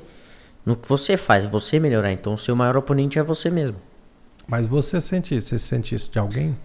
Não. Que o cara quer competir com você, de repente você tá com um tipo de, de, de pneu, o cara quer ter também, a mesma marca ali igualzinho, ou todos têm que ser padronizados? No Fórmula, todos são padronizados. No kart, tem várias marcas de chassi. O pneu é igual para todo mundo e o motor é igual para todo mundo, ca- cada uma com sua preparação. Mas kart é de cada um. Eu ando, por exemplo, de CRG. Mas tem um cara que anda de Tony Kart, tem um cara que anda de Tech Speed, o outro anda de Mini, o outro anda de Thunder. Então vai, varia da pessoa. É uma coisa muito pessoal. Essa. Hoje é o Hamilton e o. O Não. oponente dele lá. Ano passado foi o Hamilton e o Verstappen. Esse ano é Leclerc e Verstappen. O Hamilton não tá na briga esse ano? Não, porque o carro da Mercedes tá chegando lá. Ele tá começando a aparecer, mas ele não, o carro deles não é comparável ao da, da Red Bull e O. Verstappen é filho de alguém que tem um sobrenome Verstappen? Sim, o Jos Verstappen, é, ele foi. Ele correu de Fórmula 1 nos anos 90. É, porque mas, eu lembro desse nome é, Verstappen na Mas Fórmula o pai 1. dele nunca ganhou nada. É, o filho é. A gente brinca que o filho é bem melhor que o pai. Que ele é campeão mundial e tal. Mas o, o Max acelera muito. Tanto ele quanto o Leclerc, que é hoje o, o concorrente maior dele que tá na Ferrari. Que é do Jacques Leclerc, Exato, que, que também era piloto. exatamente. Então os filhos todos estão na. Então, né? Todo mundo lá ali Tá tem, tem algum tipo de envolvimento. Exatamente, exatamente. É claro que Pedro Clerô curte o Campeonato Brasileiro de Kart. Esse aí você curte ou não? Pode falar que sim. Pode falar que sim. Próximo diretor. É, isso aí é de F4 olho fechado, Brasil sim. Aqui. Championship. É, isso aí com certeza. Curte de olho fechado. Como é que chegou a F4 aí na sua vida? Bom, a gente tinha Associação. associação, tal, como eu tava contando. A gente tinha associação de pilotos que a gente correu na Argentina. Porque no Brasil a gente não tinha carro, não tinha ninguém que era interessado a fazer. E o Giovanni Guerra assumiu a posição de presidente da, da Confederação Brasileira de Automobilismo. E a gente chegou com a ideia pra ele e falou: Ó, a gente tem 16 pilotos e uma pilota, a Aurélia Nobels, que quer correr de Fórmula 4. A gente A vai correr na filha do Argentina. deputado Luiz Miranda tá correndo aí Tá de correndo kart também, aí. tá no kart também, ela anda direitinho. É, parece que ela tem ganhado algumas. Tem, tem, tem. Ela anda direitinho. Ela anda lá no Jeep também, lá no Guará. Ela anda direitinho. Tem feito umas corridas fora também, então ela tá, tá evoluindo, mas ela Como é anda que é bem. essas corridas fora, Pedro? Tem que levar o kart, Tem que levar kart, caminhão, a gente leva numa van. uma van. Geralmente uma van, um caminhão. A gente varia ali de um. Aí, por exemplo, a minha equipe tem um caminhão, aí vai de caminhão pro Nordeste, que vai ser o brasileiro esse ano. Aí já vai de todo mundo. Vai de todo mundo. Aí a gente vai, vai, treina, treina, treina, chega e corre. Você tem uma equipe. Tem uma equipe, exatamente. Do kart da F4 você tem uma equipe também. Tem. Hoje a minha equipe na, na F4 é a full time. Foi por um meio de sorteio que a gente caiu na full time, graças a Deus, a equipe que eu queria. É, equipe maravilhosa Porque lá. tem alguém de referência lá? Ah, cara, eu, sou muito fã do Rubinho. E o Rubinho corre lá e hoje eu sou muito próximo dos filhos dele, do Fefo, que corre comigo, meu companheiro de equipe. E o, o próprio Dudu, que eu conheci há um tempo atrás pelo simulador. A gente, não, a gente com um ano e meio conversando, a gente não sabia a cara um do outro. Lógico, a gente tinha câmera, um viu o outro e tal, mas a gente não se, conhecia, não se conhecia pessoalmente. Que os meus melhores amigos hoje são São Paulo e eu encontro ele nas corridas. Ele tá lá por conta do Rubinho e do Fefo. E Quem é o Fefo? o filho do Rubinho, Fefo Barrichello, Fernando Barrichello. E assim, eu tinha um sonho de correr na full time. Eu via o Instagram, tipo, eu abri o telefone e tava lá, full time. Nossa, full time, meu Deus. Tipo, quando eu ia lá, eu queria tirar foto com os pilotos. E hoje você estando no meio, você vê que é uma coisa muito, muito bacana. Tem muita gente que gosta daquilo, que tá envolvido. Na visitação de box, por exemplo, muita gente vai lá, pede pra tirar foto comigo, quer autógrafo, quer que eu explique os carros. Quer que, eu- enfim, com o Rubinho, com o Tony Canan também, que, que anda lá, que por acaso é meu chefe de equipe na, na Texaco Racing. é? Exatamente, na, no virtual. Eu conheci ele na casa do Valtinho Ferrari. Baltinho. Conheço ele. uns, há uns 25 anos atrás, mais ou menos. É coisa, 25 anos é coisa. eu não tava nem nascido, eu nasci em tinha nem 2007. nascido. Eu nasci em 2007. E, mas claro, a F4 é, é curto, sim, de olho fechado. E tem, só terminando de explicar mais ou menos como foi, a gente chegou com essa ideia pro Giovanni. Gio- Giovanni falou pra gente o seguinte: Não, vocês não vão correr na Argentina. Se eu arranjar um cara pra fazer aqui no Brasil, vocês fazem? Lógico, a gente tá com dinheiro, a gente quer investir, é o futuro dos nossos filhos, vamos. O Lincoln, ele hoje é o dono da, da KTF, que é uma equipe que é dona da Stock Car, que é a Vicar que faz isso. O Fernando Giulianelli é o CEO. E a gente chegou pro Lincoln, o Giovanni chegou com o Lincoln para a ideia e falou: Lincoln, é, eu quero que você. Você pode ajudar? Os meninos querem correr de Fórmula 4 aqui no Brasil, acho que é muito legal, a gente faz junto com a Stock. Vamos, vamos. Fizemos o investimento, trouxemos os carros, criamos a categoria Fórmula 4 Brazilian Championship Aí esses Certified carros, cada um compra o seu. Não, a, hoje é monogestão. A Vicar comprou os carros e a Vicar deu os carros para as equipes. Tanto que a Vicar paga a equipe para fazer o serviço para nós. Ah, Não é a gente que paga a equipe. É a, a gente paga a Vicar e a Vicar paga as equipes. É uma monogestão. E daí veio a A F4. Vicara é igual o, o amigo do teu pai aqui. Mais ou menos. Aí vocês pagam pra ele. Hoje pagam quanto, mais ou menos? Cara, a temporada hoje de Fórmula 4 tá em torno de 900 mil reais. É, não é caro. Uma temporada é, São seis etapas e 18 corridas. é muita coisa. É coisa. Não sai caro, não. Lógico, tem treino envolvido. Tem muita coisa envolvida que acaba que vale a pena. É uma das categorias mais baratas do mundo. É a Fórmula 4 no Brasil. E com essa ideia que a gente trouxe, fez acontecer, vai durar por um bom tempo. Tem muitos pilotos agora querendo participar da Fórmula 4. É, porque o, pe- o Rubinho teve peso nessa decisão aí. Cara, Deixar levar pra Argentina. O Rubinho não tava na associação. A gente tinha 16 pais. Só 10 foram da associação, quiseram mesmo. E a Vicara arranjou os outros 6. O Rubinho entrou. Entrou o Luan Lopes, o João Tesser. Entrou. Quem mais? Pipe Bart. Que é primo do, do Fefo. Enfim, muita gente que, que não tava lá quis andar. O Richard Januziato, Vitor Bax. Enfim. Esses caras ficaram sabendo, entraram em contato com a Vicar, falou: "Tem vaga? Tem, eu quero, eu quero a vaga". Então, beleza, fez o sorteio, cada uma caiu na sua equipe, quatro equipes. Full Na sua equipe full time tem quantos atletas lá? Tem quantos pilotos? são quatro. Quatro eu, pilotos. o Ricardo Gracia, o Nelson Neto e o Fifo Barrichello. Tem quatro equipes hoje. TMG Racing, é, Cavaleiro Sports, KTF e Full Time. Eu caí na Full Time, a equipe que eu queria, acho que é uma equipe muito boa, com uma estrutura muito boa. O Edu Bassani, que é o engenheiro-chefe, que cuida do acerto. Ele trabalhou com Fórmula 20 anos atrás, na Fórmula 3. Foi de cinco campeonatos da Fórmula Renault que teve no Brasil, ele ganhou três. Os outros dois ganhou o Mal Mal, que também é da Full Time, é o dono da Full Time, assim. Ele é o cara que cuida. Ele é o cara, o chefe, assim, né? O nosso chefe da equipe. E eles dois viraram sócios um tempo atrás. E os dois fizeram quiseram fazer esse F4. Então a gente tá com o time mais perfeito lá. Duas pessoas que têm extremamente. São extremamente experientes com Fórmula. Um carro novo. Então a gente tá aprendendo a mexer em muita coisa. Tá então, sendo incrível. F4 vocês começaram aqui no Brasil do zero. Do zero. E aí vocês vão competir só aqui dentro do Brasil ou vai sair? Só que dentro do Brasil esse ano. Aqui vão ser quantas corridas no ano? São seis etapas com três corridas. Acho que dá 18, 21 corridas. E, e aí vai por estado. Isso. E que dia que vai ser aqui em Brasília? Deixa eu olhar o calendário pra ter certeza, né? Pra não falar besteira. Eu tenho aqui, eu acho. Que dia que é? 19 e 20 de novembro. Novembro. Vai Isso. ser junto com a Stock Car. Exatamente. Junto com a Stock Car. A última etapa, o campeonato fecha aqui. Espero chegar já. É o final aqui. Final aqui. Vou lá te assistir. Fechou. Vou lá te assistir. Vou- vai dar pódio.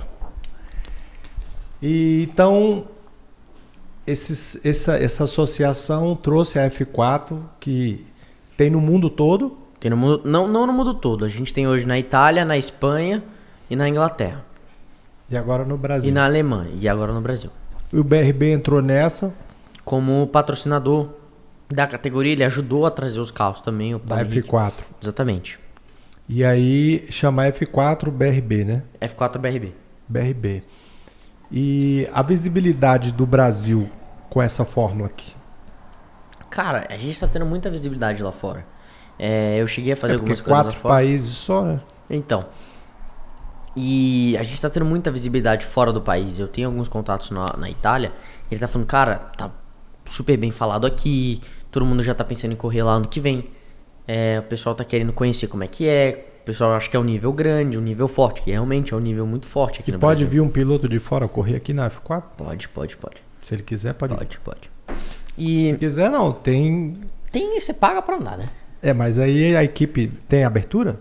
Então, eu não sei se vai ser por sorteio ou se a gente vai escolher as equipes ano que vem. Ainda não falaram mais ou menos como vai ser. Quem foi mal nesse ano na, na F4? Ano que vem tá dentro? Depende, eu posso fazer mais um ano aqui se eu quiser também. Como a grid inteiro pode fazer mais. Varia muito de, de piloto a piloto, assim, cada um tem o seu caminho e quer fazer o que quer. Você tá na F4 hoje, a próxima é F3. Isso, Não tem no Brasil. não tem no Brasil. Aí você teria que ir pra onde? Eu moraria dependendo, dependendo de onde da minha equipe. Tem uma equipe hoje que é na Holanda, outra é na Itália, outra é na Espanha, outra é, sei lá, A full time. a full time é no Brasil. Ah, em tá. Vinhedo. Você tem outras equipes. Da Fórmula 3 é só equipe estrangeira. Então, mas aí você iria pra onde? Eu iria pra Itália. Pedro Clerô. Você vai por, por passar da Fórmula F4 ou você vai lá fazer um teste? Ah, você entra em contato com a equipe, é, você fecha testes, testa com a equipe. Se você gostou, você vai lá e fecha a temporada. Lógico, F3 é muito difícil hoje você conseguir um assento porque só são três carros por equipe. Então já é uma burocracia um pouco maior, já é um nível muito alto. E a F3 roda só num país. Não, o mundo todo. Aí é o mundo O todo. mundo todo. A gente, eles têm no, no Bahrein, na Austrália, a partir do ano que vem. Enfim, na Inglaterra, na Espanha, na Itália, todos os países que. Nos Estados Unidos, acho que vai ter também. É tipo uma Fórmula 1. Eles acompanham a Fórmula 1. Ah, É, a? Fórmula 1, a Fórmula 1, a Fórmula 2 e a Fórmula 3 andam juntas. Ah, é? Andam juntas nos mesmos lugares. Lógico, a F1 anda em todos os lugares, a F3 só anda em algumas etapas, mas já é bastante coisa. Mas corre no mesmo autódromo. Mesmo autódromo, no mesmo final de semana, mesma estrutura, mesma coisa. Ah, é. Tipo, o Fórmula 1 corre meio-dia. A outra é, a corre outra corre 8 da manhã. E a Fórmula 3 geralmente é quantas voltas? Ah, cara, tem corrida que é de 18, tem corrida que é 26. É mas É menor, mas já é mais demorado pelo fato de ser um autódromo ou uma coisa E maior. a Fórmula 1 são quantas? Fórmula 1 são 70. 70. 70, é coisa. Tem, tem corrida que é 70, tem corrida que é 50, mas é de uma faixa de 50 a 70 E voltas. você acha que você fica na F4 quanto tempo? Um ano, mais um ano só e já, já vou pra F3. É, porque na F4 agora você tá com bastante visibilidade. Exatamente. Você ganhar na F4 aí, Quem sabe? os olheiros já estão aí Pô. de olho no Pedro Clerô. é claro que Pedro Clerô curte F4 Brasil Championship. Próximo diretor, Ayrton Senna da Silva. Curto de olho fechado também. É, meu ídolo hoje, acho que meu maior ídolo é o Senna. É, eu não cheguei, não tive a oportunidade de ver ele correr porque eu nasci em 2007, né? E ele morreu antes disso, infelizmente. Mas pra mim, um dos melhores pilotos da história. É, bate de frente com alguns outros que também andam super bem. Mas ele é, o, ele é o cara que eu olho assim, que eu vejo que, é, que era diferenciado mesmo. Que ele tinha uma, uma sintonia com a equipe, com o carro, que é muito difícil alguém repetir isso hoje em dia. Competitivo também. Extremamente. Mas todo piloto é competitivo. Competitivo. É, Tem uma lenda que ele era bom na chuva porque ele rodou no kart na chuva e ele treinou muito com kart na chuva. Você estudou sobre isso? Cara, assim, lá no kart a gente tem o preparador que cuidou dele, foi o meca dele, e ele falava que ele saía pra andar na chuva com pneu de seco. Ia, ficava andando com pneu de seco, com pneu de seco, pra quando ele botou pneu de chuva, tava em casa, pra ele tinha gripe.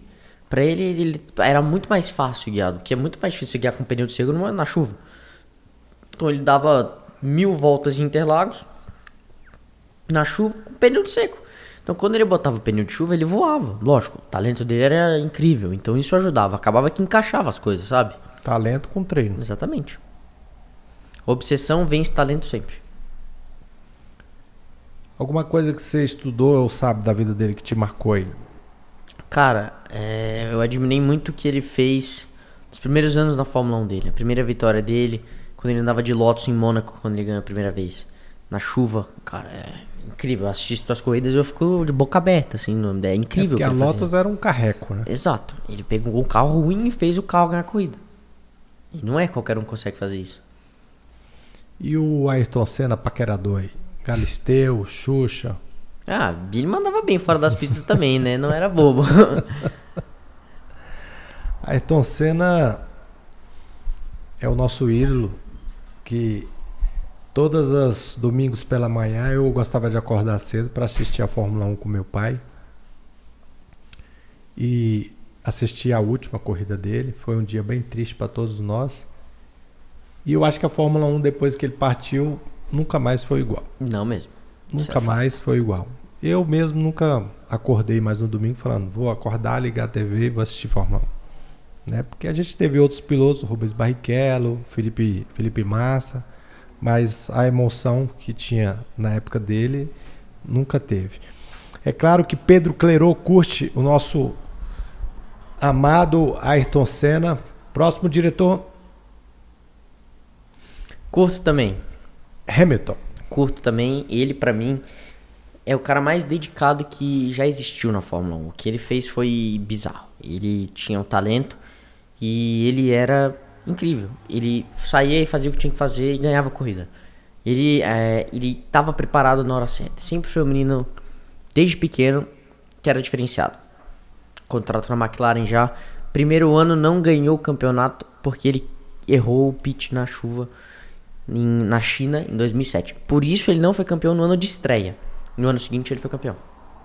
Infelizmente, em cima de Felipe Massa naquela corrida de Interlagos, que por um ponto ele perdeu, enfim, aquela coisa dramática, mas o Hamilton era um, é um piloto sensacional e sempre vai, sempre vai ser, ele, ele faz coisa que ninguém consegue fazer, ele sai e faz. Ele sai e vira a volta que ele tem já é hexa, né? Sete vezes campeão. É seven. É, ultrapassou o Schumacher. Em- Empatou. Empatou? Empatou, mas ele tem mais vitórias e mais pódios. Ele é polêmico, né? Ah, cara, é- eu acho que contra. Eu não acompanho muito o que ele faz fora da pista. Pra mim, o piloto ele tem sim suas posições. É porque ele acha que não é reconhecido lá pela Inglaterra. Não, mas ele é Sir Lewis Hamilton agora. Ele é reconhecido pela rainha, né? Ele Pois é, é. considerado um, um cara da. Mas enfim, eu, eu acredito muito. Eu olho muito mais pro lado do piloto do que fora da pista. Fora da pista, cada um tem suas opiniões. Cada um respeita as opiniões de cada um. Então não tem que ter esse tipo de problema. Lógico, às vezes tem alguns pilotos que apoiam e não apoiam, mas isso aí vai de cada um. É claro que Pedro Clerot curte Lewis Hamilton. Próximo diretor, Curto também de olho fechado. Schumacher. Pra mim, um dos pilotos mais talentosos que já teve na Fórmula 1, de bate de frente com, com Ayrton e com o Hamilton, pra mim mais talentoso um pouco que o Hamilton, porém an anos diferentes, ia ser muito legal ver uma corrida entre Senna, Hamilton e, e Piquet. Oh, Piquet não, desculpa, o Schumacher. Lógico, Piquet no meio também ia ser bem legal pra mim, outro piloto fantástico. Você sabia que antes desse cara começar a ganhar, eu já vislumbrava que ele ia Que ele ser anda bem. campeão? Eu não, eu, eu não era nascido também nessa Cara, época, então. é porque, tipo assim, é, no- não sei como é que chama a curva, tinha vezes que ele passava direto. Tinha uma curva lá, ele te passava direto. Ele, ele corria atrás mesmo, tipo assim, vinha, vinha, com- vinha com tudo. Ele não queria saber, ele não era ninguém, não era conhecido. Então, Ayrton Senna era o, o campeão, tinha o Alan Prost lá também. Nigel Mansell Tinha o também. Nigel Mansell também. E ele não era ninguém. E de repente esse cara começou. Você vê a sede do cara em andar com os, os líderes lá, né? E aí eu olhei a sede desse cara e falei: esse cara tá vindo com sede. E quando o cara vem com sede, ele vem, né? Os outros lá estão já. Os campeões já estão mais acomodados, né? Já estão já estão acomodados, então o, o- ele veio com muita sede. E eu sabia que ele ia trilhar uma carreira muito bonita. E ele era um piloto muito talentoso. Isso é fato. E, enfim, ganhou sete títulos mundiais aí. Disputou com o Mika Hakkinen muito tempo. Ele era dos dois. Aquele cara também acelera muito. E ele Finlandês saiu da bom. Fórmula 1 e depois voltou. Exatamente. Voltou e andou bem. Voltou Detalhe. e- e andou E a bem. última pole position dele é em Mônaco. E não foi, não largou na pole porque ele tinha tomado uma punição de cinco posições porque ele tinha trocado alguma coisa no motor. Que toda vez que você troca alguma coisa, você toma uma punição, enfim, você tem toda uma regra da Fórmula 1. E ele foi pole em Mônaco, a última pole dele foi em Mônaco. Muito triste o que aconteceu com o acidente. Para mim, ele tinha mais uns dois anos na Fórmula 1 no máximo, mas ia estar tá aí apoiando os jovens pilotos. O filho dele hoje, o Mick, tá na Fórmula 1. Mas eu acho que o, o pai andava um pouco mais. E o irmão? Cara, o irmão era bom também. O irmão era bom, mas não era tão bom quanto, quanto o Mikael. O irmão dele acho que nunca ganhou uma corrida. Todo piloto que chegou na Fórmula 1 era bom. Isso é fato. Não, ninguém que é ruim chega lá. Lógico, tem os pilotos melhores, pilotos que não são tão ruins. Vamos falar assim, né? São, são pilotos bons. Todo piloto que chega na Fórmula 1 é bom. Não pois é, existe é, um piloto Os outros ruim. campeões são o que? Anormais? Exato. Para você ser campeão mundial hoje, você tem que ser diferenciado. Um piloto ok não chega lá e é campeão. Não, Equilíbrio, não controle mental, controle mental, emocional. Vou dar um exemplo, o Bottas. Bottas é um piloto incrível, mas não tem cabeça. O Hamilton destruía ele mentalmente. Chegava no começo do campeonato, o Bottas era primeiro. Na outra corrida o Hamilton ganhava, aí o Hamilton ganhava de novo, o Hamilton ganhava de novo. Acabou a cabeça do, do cara. Você tem que ser muito forte mentalmente para poder aguentar aquilo, para você conseguir bater de frente com alguém. O que o Verstappen fez foi incrível, na minha opinião. Ele, com 24 anos de idade, foi lá e ganhou de um cara que é o mais bem preparado. Que já vinha ali ganhando tudo. Era, enfim. 24 anos é 10 anos você na Fórmula 1, daqui 10 anos. Daqui, não, daqui 9 anos. 9 anos. 9 anos. E aí? Pouco tempo. Se eu chegar lá, eu vou tentar ser campeão também, mas. Vamos ver, seja o que Deus quiser, né? Eu espero que você nos dê muitas alegrias nos domingos pela manhã. Que Amém. Eu, eu vou estar vivo, com certeza, e jovem ainda para assistir você que na show. Fórmula 1. Claro que curte Michael Schumacher, próximo diretor. Eita. Vamos lá. Essa imagem aí é conturbada. Foi na época que eu tava com os pés quebrados. Eu malhava na cadeira de rodas com preparação. Eu até meio que tinha raspado o cabelo, assim. Não foi uma coisa muito boa que eu fiz. Fiquei feio pra caramba.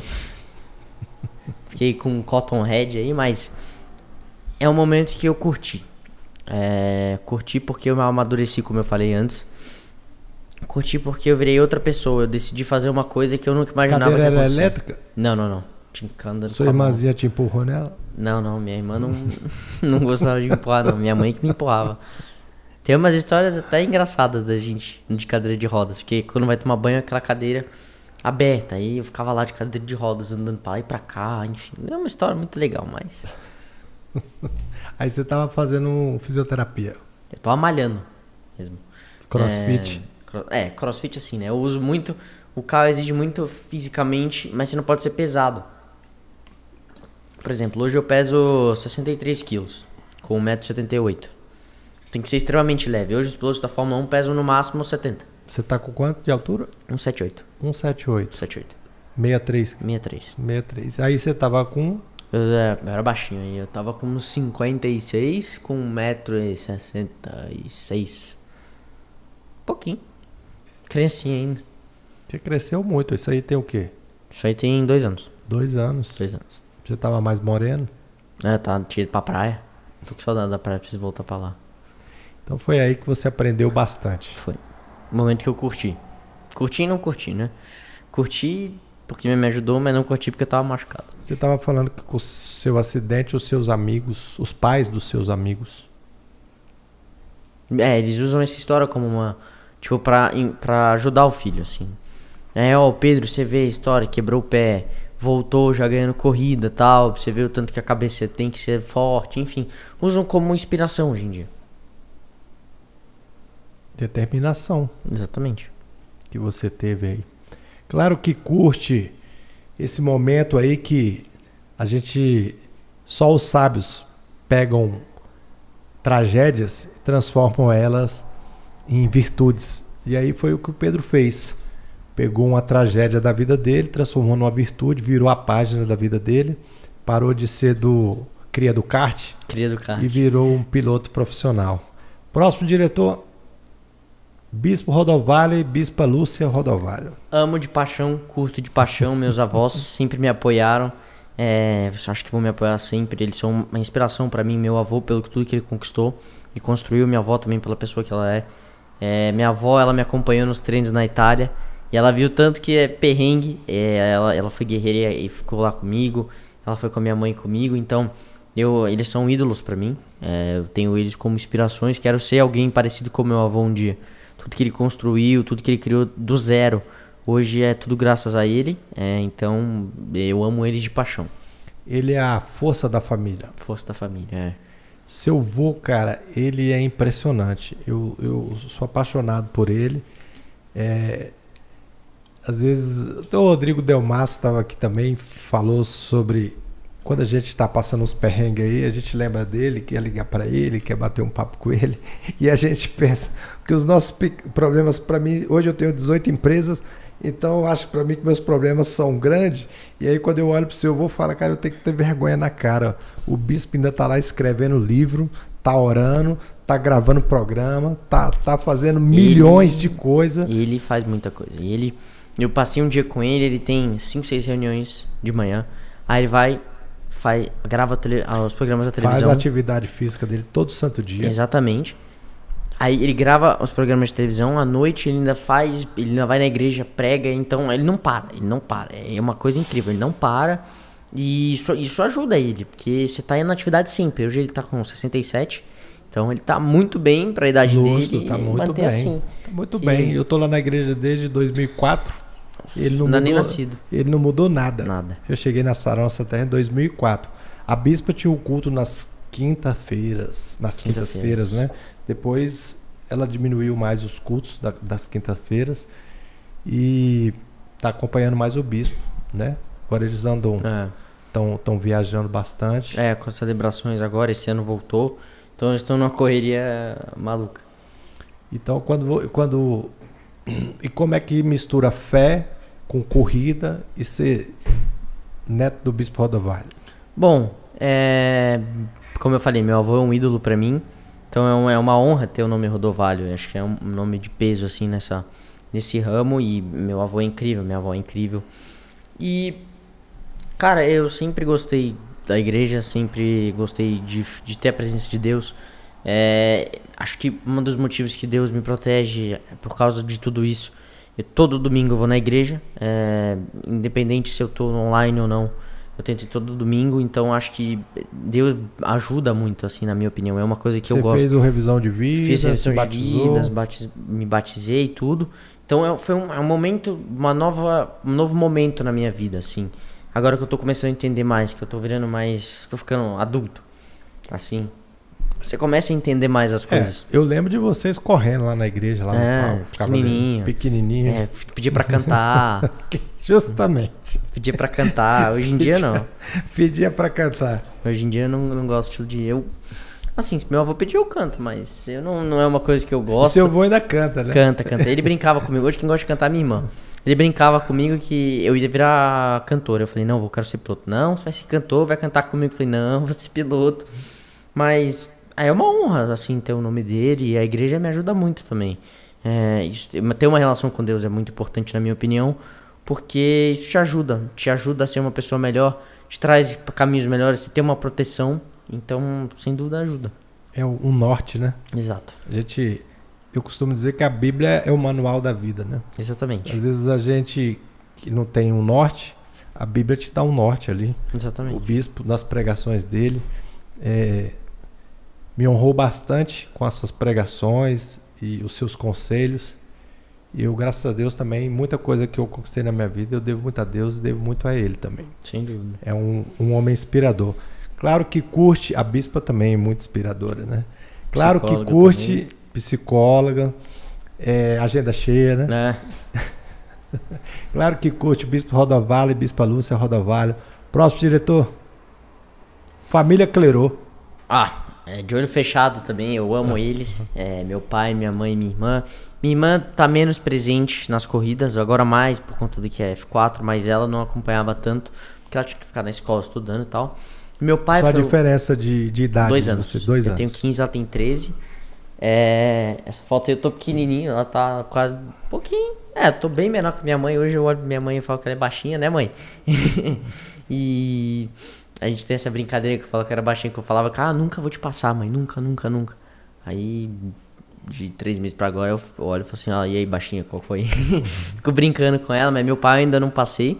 Não sei se eu vou passar ele na altura, mas a minha irmã também já tá quase maior que a minha mãe, então minha mãe vai olhar pra essa foto, vai querer esse tempo de volta, ela fala.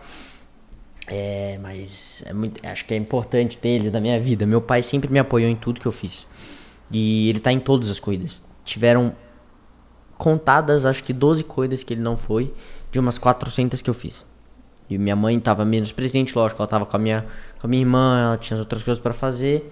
Mas meu pai sempre teve comigo, ele sempre tirou um tempo comigo, sempre vai nos treinos comigo, sempre tá presente. Eu devo muita coisa a ele também, então. Puxa a orelha? Várias vezes também já tomei uns puxão de orelha, já, já tomei umas, umas broncas, mas tudo isso para evoluir. É bom você ter pais jovens assim, e hoje você é um, um, um jovem tão, tão inteligente, tão, tão esperto. Eu estou surpreso com o seu desenvolvimento pessoal. Né? O seu, seu desenvolvimento na pista eu ainda não vi, mas o seu desenvolvimento pessoal eu estou surpreso. E acredito muito que a gente é o reflexo da família da gente também. Claro, né? claro, claro. Então você teve uma educação muito boa. Seu pai, seus pais estão aqui te acompanhando Lógico. hoje, aqui no, na entrevista do podcast. Né? Pai e mãe é isso aí, é sacrifício, é amor, é doar a vida pelos filhos. Lógico. E, e a sua irmã tá com 13, né? 13. E ela quer ser o quê? Cara, ela não decidiu o que ela quer ser ainda. Ela hoje ela canta com meu avô às vezes. Mas assim, ela não decidiu ainda. Ela faz um pouco de tudo. Ela gosta de academia, ela gosta de cantar, ela gosta de fazer ginástica, ela gosta de jogar futebol, ela gosta de ficar com os amigos. Então ela, ela tá curtindo a vida.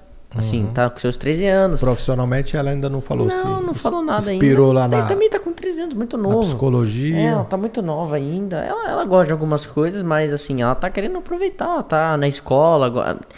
Ela é extremamente rígida com a escola. Falando, relaxa.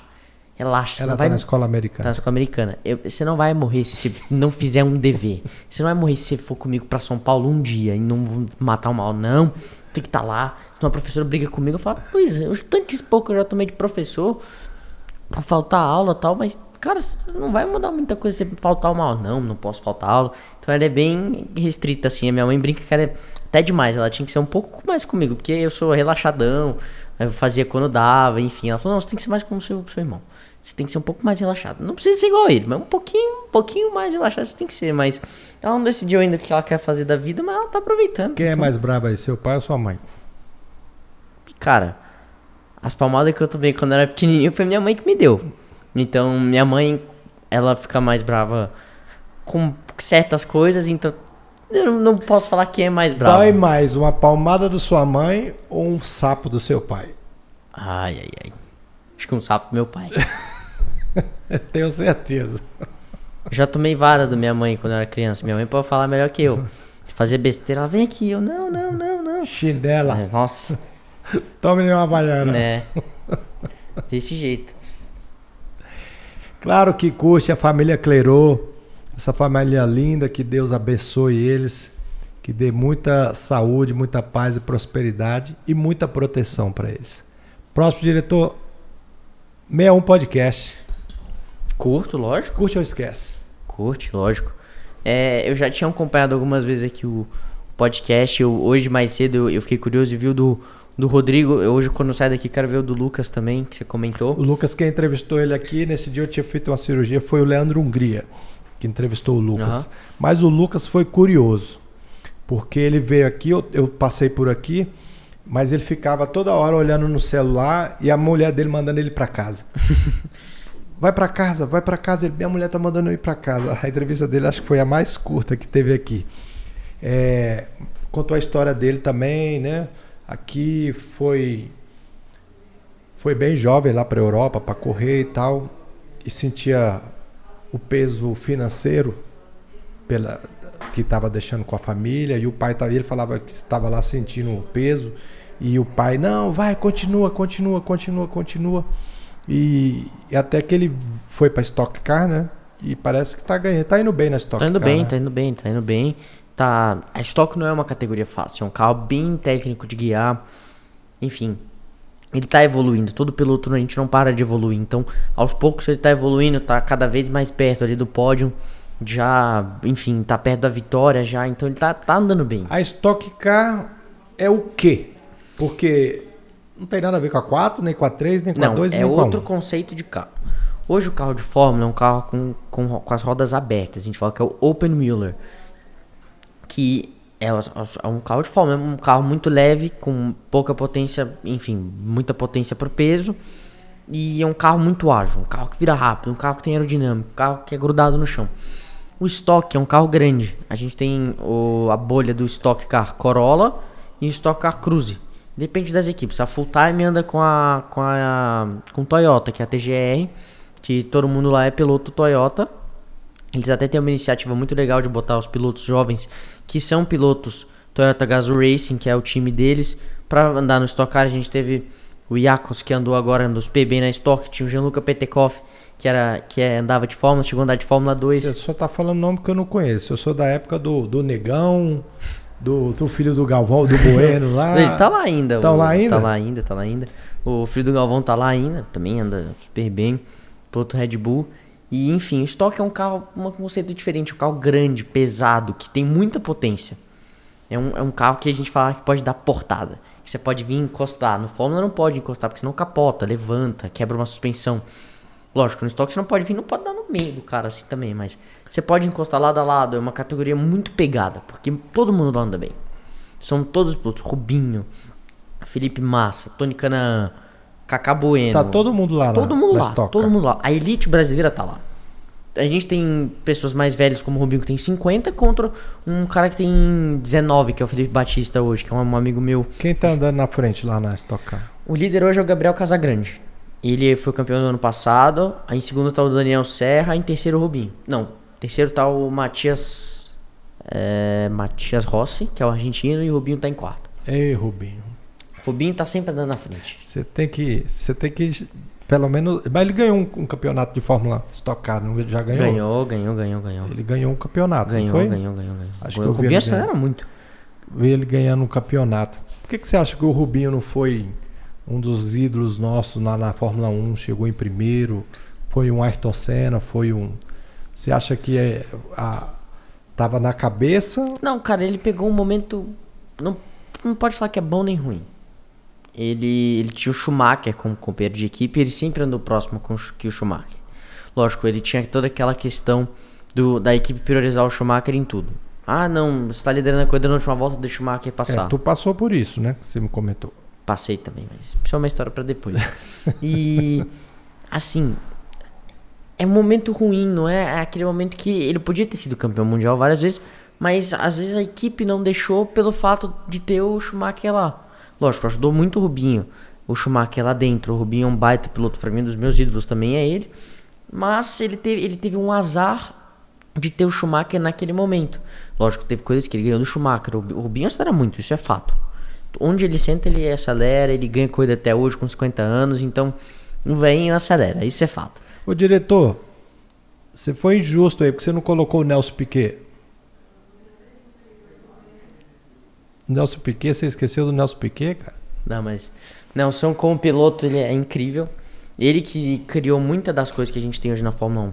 Ele tinha a questão de colocar a roda no forno para aquecer a roda. Isso, foi transferiu... ele que inventou exatamente, aquela história lá. Exatamente, exatamente. Ele que desenvol- ajudou a desenvolver a suspensão ativa.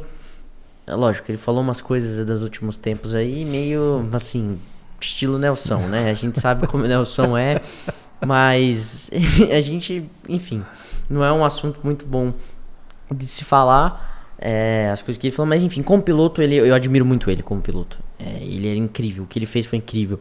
É, para mim, ele era um dos pilotos mais talentosos também que tinha. Ele, ele mecanicamente, ele sabia tudo de olho fechado. Nelson era incrível nisso. É porque ele conhece o carro por dentro e por fora. Exatamente. né? Então, tipo assim, ele é um curioso. Né? Exatamente. Pelo, a minha fonte que me passou informações dele disse que era um cara muito curioso. E eu at- até achava que ele tinha vindo de, de família humilde, mas não. Não, não. É, ele é de família rica. E, e ele queria matar a aula para mexer com o graxa. Lógico. Matar a aula para mexer com o graxa. Ele que, quando teve cuidando na, de Fórmula 1 aqui em Brasília, ele que cuidou dos boxes. Ele que ficava lá tomando conta, porque ele queria ver, queria estar no meio, queria participar. Então, assim, Campeonato de. de Fórmula 1 aqui. Ah, já teve aqui? Teve corrida de Fórmula 1 aqui, uma coisa especial, acho que em 1970 e alguma coisa. É mesmo, não sabia disso. 70 e. não, 80, sei lá, enfim. Meu pai, meu pai que me contou essa história. Que ele- eles, assim, era. Eles acampavam lá pra ver corrida, tipo, a mil milhas de Brasília. Nelson tava lá, tava lá vendo uns boxes, tava lá querendo mexer, tava lá querendo ajudar. Então o Nelson nisso era incrível. Ele sabia o carro de olho fechado, assim, não, pode mexer nisso. Que ele sabia. Esse foi o Pedro Clerô. Muito obrigado por ter participado aqui do nosso 61 Podcast, o podcast da capital. É, já estamos aqui, há, acho que há duas horas. E por mim eu iria mais, viu, Pedro? Você é muito simpático, um jovem, um jovem promissor. E eu, eu, eu estou desanimado de ter filho, mas se eu soubesse que meu filho seria como você, você pode ter certeza que eu, Não. eu gostaria de ter um filho isso, como obrigado, você. obrigado. E tá de parabéns. Eu gostaria de te presentear aqui com o nosso troféu 61 Podcast. Obrigado. Que você guarde lá ao lado dos seus muitos troféus que eu sei que você tem. Tem bastante lá. Essa frase é a frase da capa do meu livro que vai ser lançado em breve. A história de uma pessoa bem-sucedida vai depender da forma que ela encarou as pedras e as frustrações na vida. Foi a forma que você encarou o seu acidente. Exatamente. Você poderia ter se frustrado lá com o seu acidente e ter largado o Tudo. seu caminho, ter Mas- parado com tudo, deixado o seu sonho para trás, mas você venceu o medo, né? fez da tragédia, usou como sabedoria. E estou muito feliz de ter te entrevistado, uma das Obrigado. melhores entrevistas que eu fiz aqui. É muito bom ter contato com, com jovens como você, com positividade, com energia, um temente a Deus, que vai estar lá na Fórmula 1, se Deus quiser, Amém. e eu creio que Ele quer, eu ainda vou ter a oportunidade de, de te assistir na Fórmula 1. Eu vou deixar essa câmera para você se despedir, você deixa uma mensagem aí para os nossos inscritos, para os seus amigos que vão assistir essa entrevista, ela será eternizada aí no YouTube. Um dia, quando você for campeão da Fórmula 1, eles vão poder rever esse bate-papo que a gente teve aqui. Show. Bom, primeiro agradecer é, o Ronan pelo convite. É, foi incrível esse bate-papo. A gente ficou aí duas horas, nem viu o tempo passar. É, a gente falou de tudo e mais um pouco. Acho que uma frase que eu, que eu gosto de falar é nunca desista dos seus sonhos. Hoje um exemplo claro foi, foi o que aconteceu comigo depois que eu quebrei o pé. Acho que serve de inspiração para muita gente. E é isso. Os jovens de hoje em dia têm, têm sofrido um pouco. Então nunca desista do seu sonho. Isso é uma coisa que, que te leva pra frente, que te, te, motiva. Você não pode desistir de uma coisa que você ama. É, você tem que fazer o que você ama. E se o céu te deixa feliz, você tem que fazer isso. E muita gente fala, ai, não, mas eu não tenho uma, uma condição boa. Pra mim, quem tem condição boa é quem é feliz. Pra mim, o cara pode ser o cara mais rico do mundo. Mas se o cara não for feliz, não adianta nada ele ter o dinheiro. Você vê, a gente tem muitos casos com, ator, com cantores famosos que acabam se matando, tendo tudo que de melhor, mas ele não tem felicidade. Então é fazer o que você ama, acreditar nos seus sonhos, seguir seus sonhos. E agradecer mais uma vez o convite. Espero que vocês tenham gostado e curtiram esse bate-papo aí nosso de duas horas e pouquinho falando de tudo mais um pouco sobre automobilismo. As redes sociais do Pedro vão estar passando por aí. Eu gostaria de agradecer aqui aos nossos patrocinadores. Academia Corpo e Saúde, Atacadão dos Suplementos, Acreditar Agência de Marketing, Clínica Corpo Perfeito, JK Laboratório, Mamute Energy Drink, o energético zero açúcar, Steak Bull Churrascaria, a melhor do Distrito Federal, Doces da Chefe, o meu muito obrigado a vocês. Esse foi o 37º episódio do 61 Podcast, o podcast da capital. Curta, compartilha. Esse bate-papo foi fantástico, me esclareceu muitas coisas no mundo automobilístico. Pedro deu uma aula aqui pra gente. Meu muito obrigado, Pedro. Meu muito obrigado ao Bispo Rodovalho, a Bispa Lúcia. Muito obrigado ao João e à Lia Clerô, que estão aqui na, junto com a produção assistindo é, esse episódio. Muito obrigado por vocês terem trazido o Pedro aqui e estar aqui até agora com a gente acompanhando essa entrevista. Um forte abraço para vocês e até breve.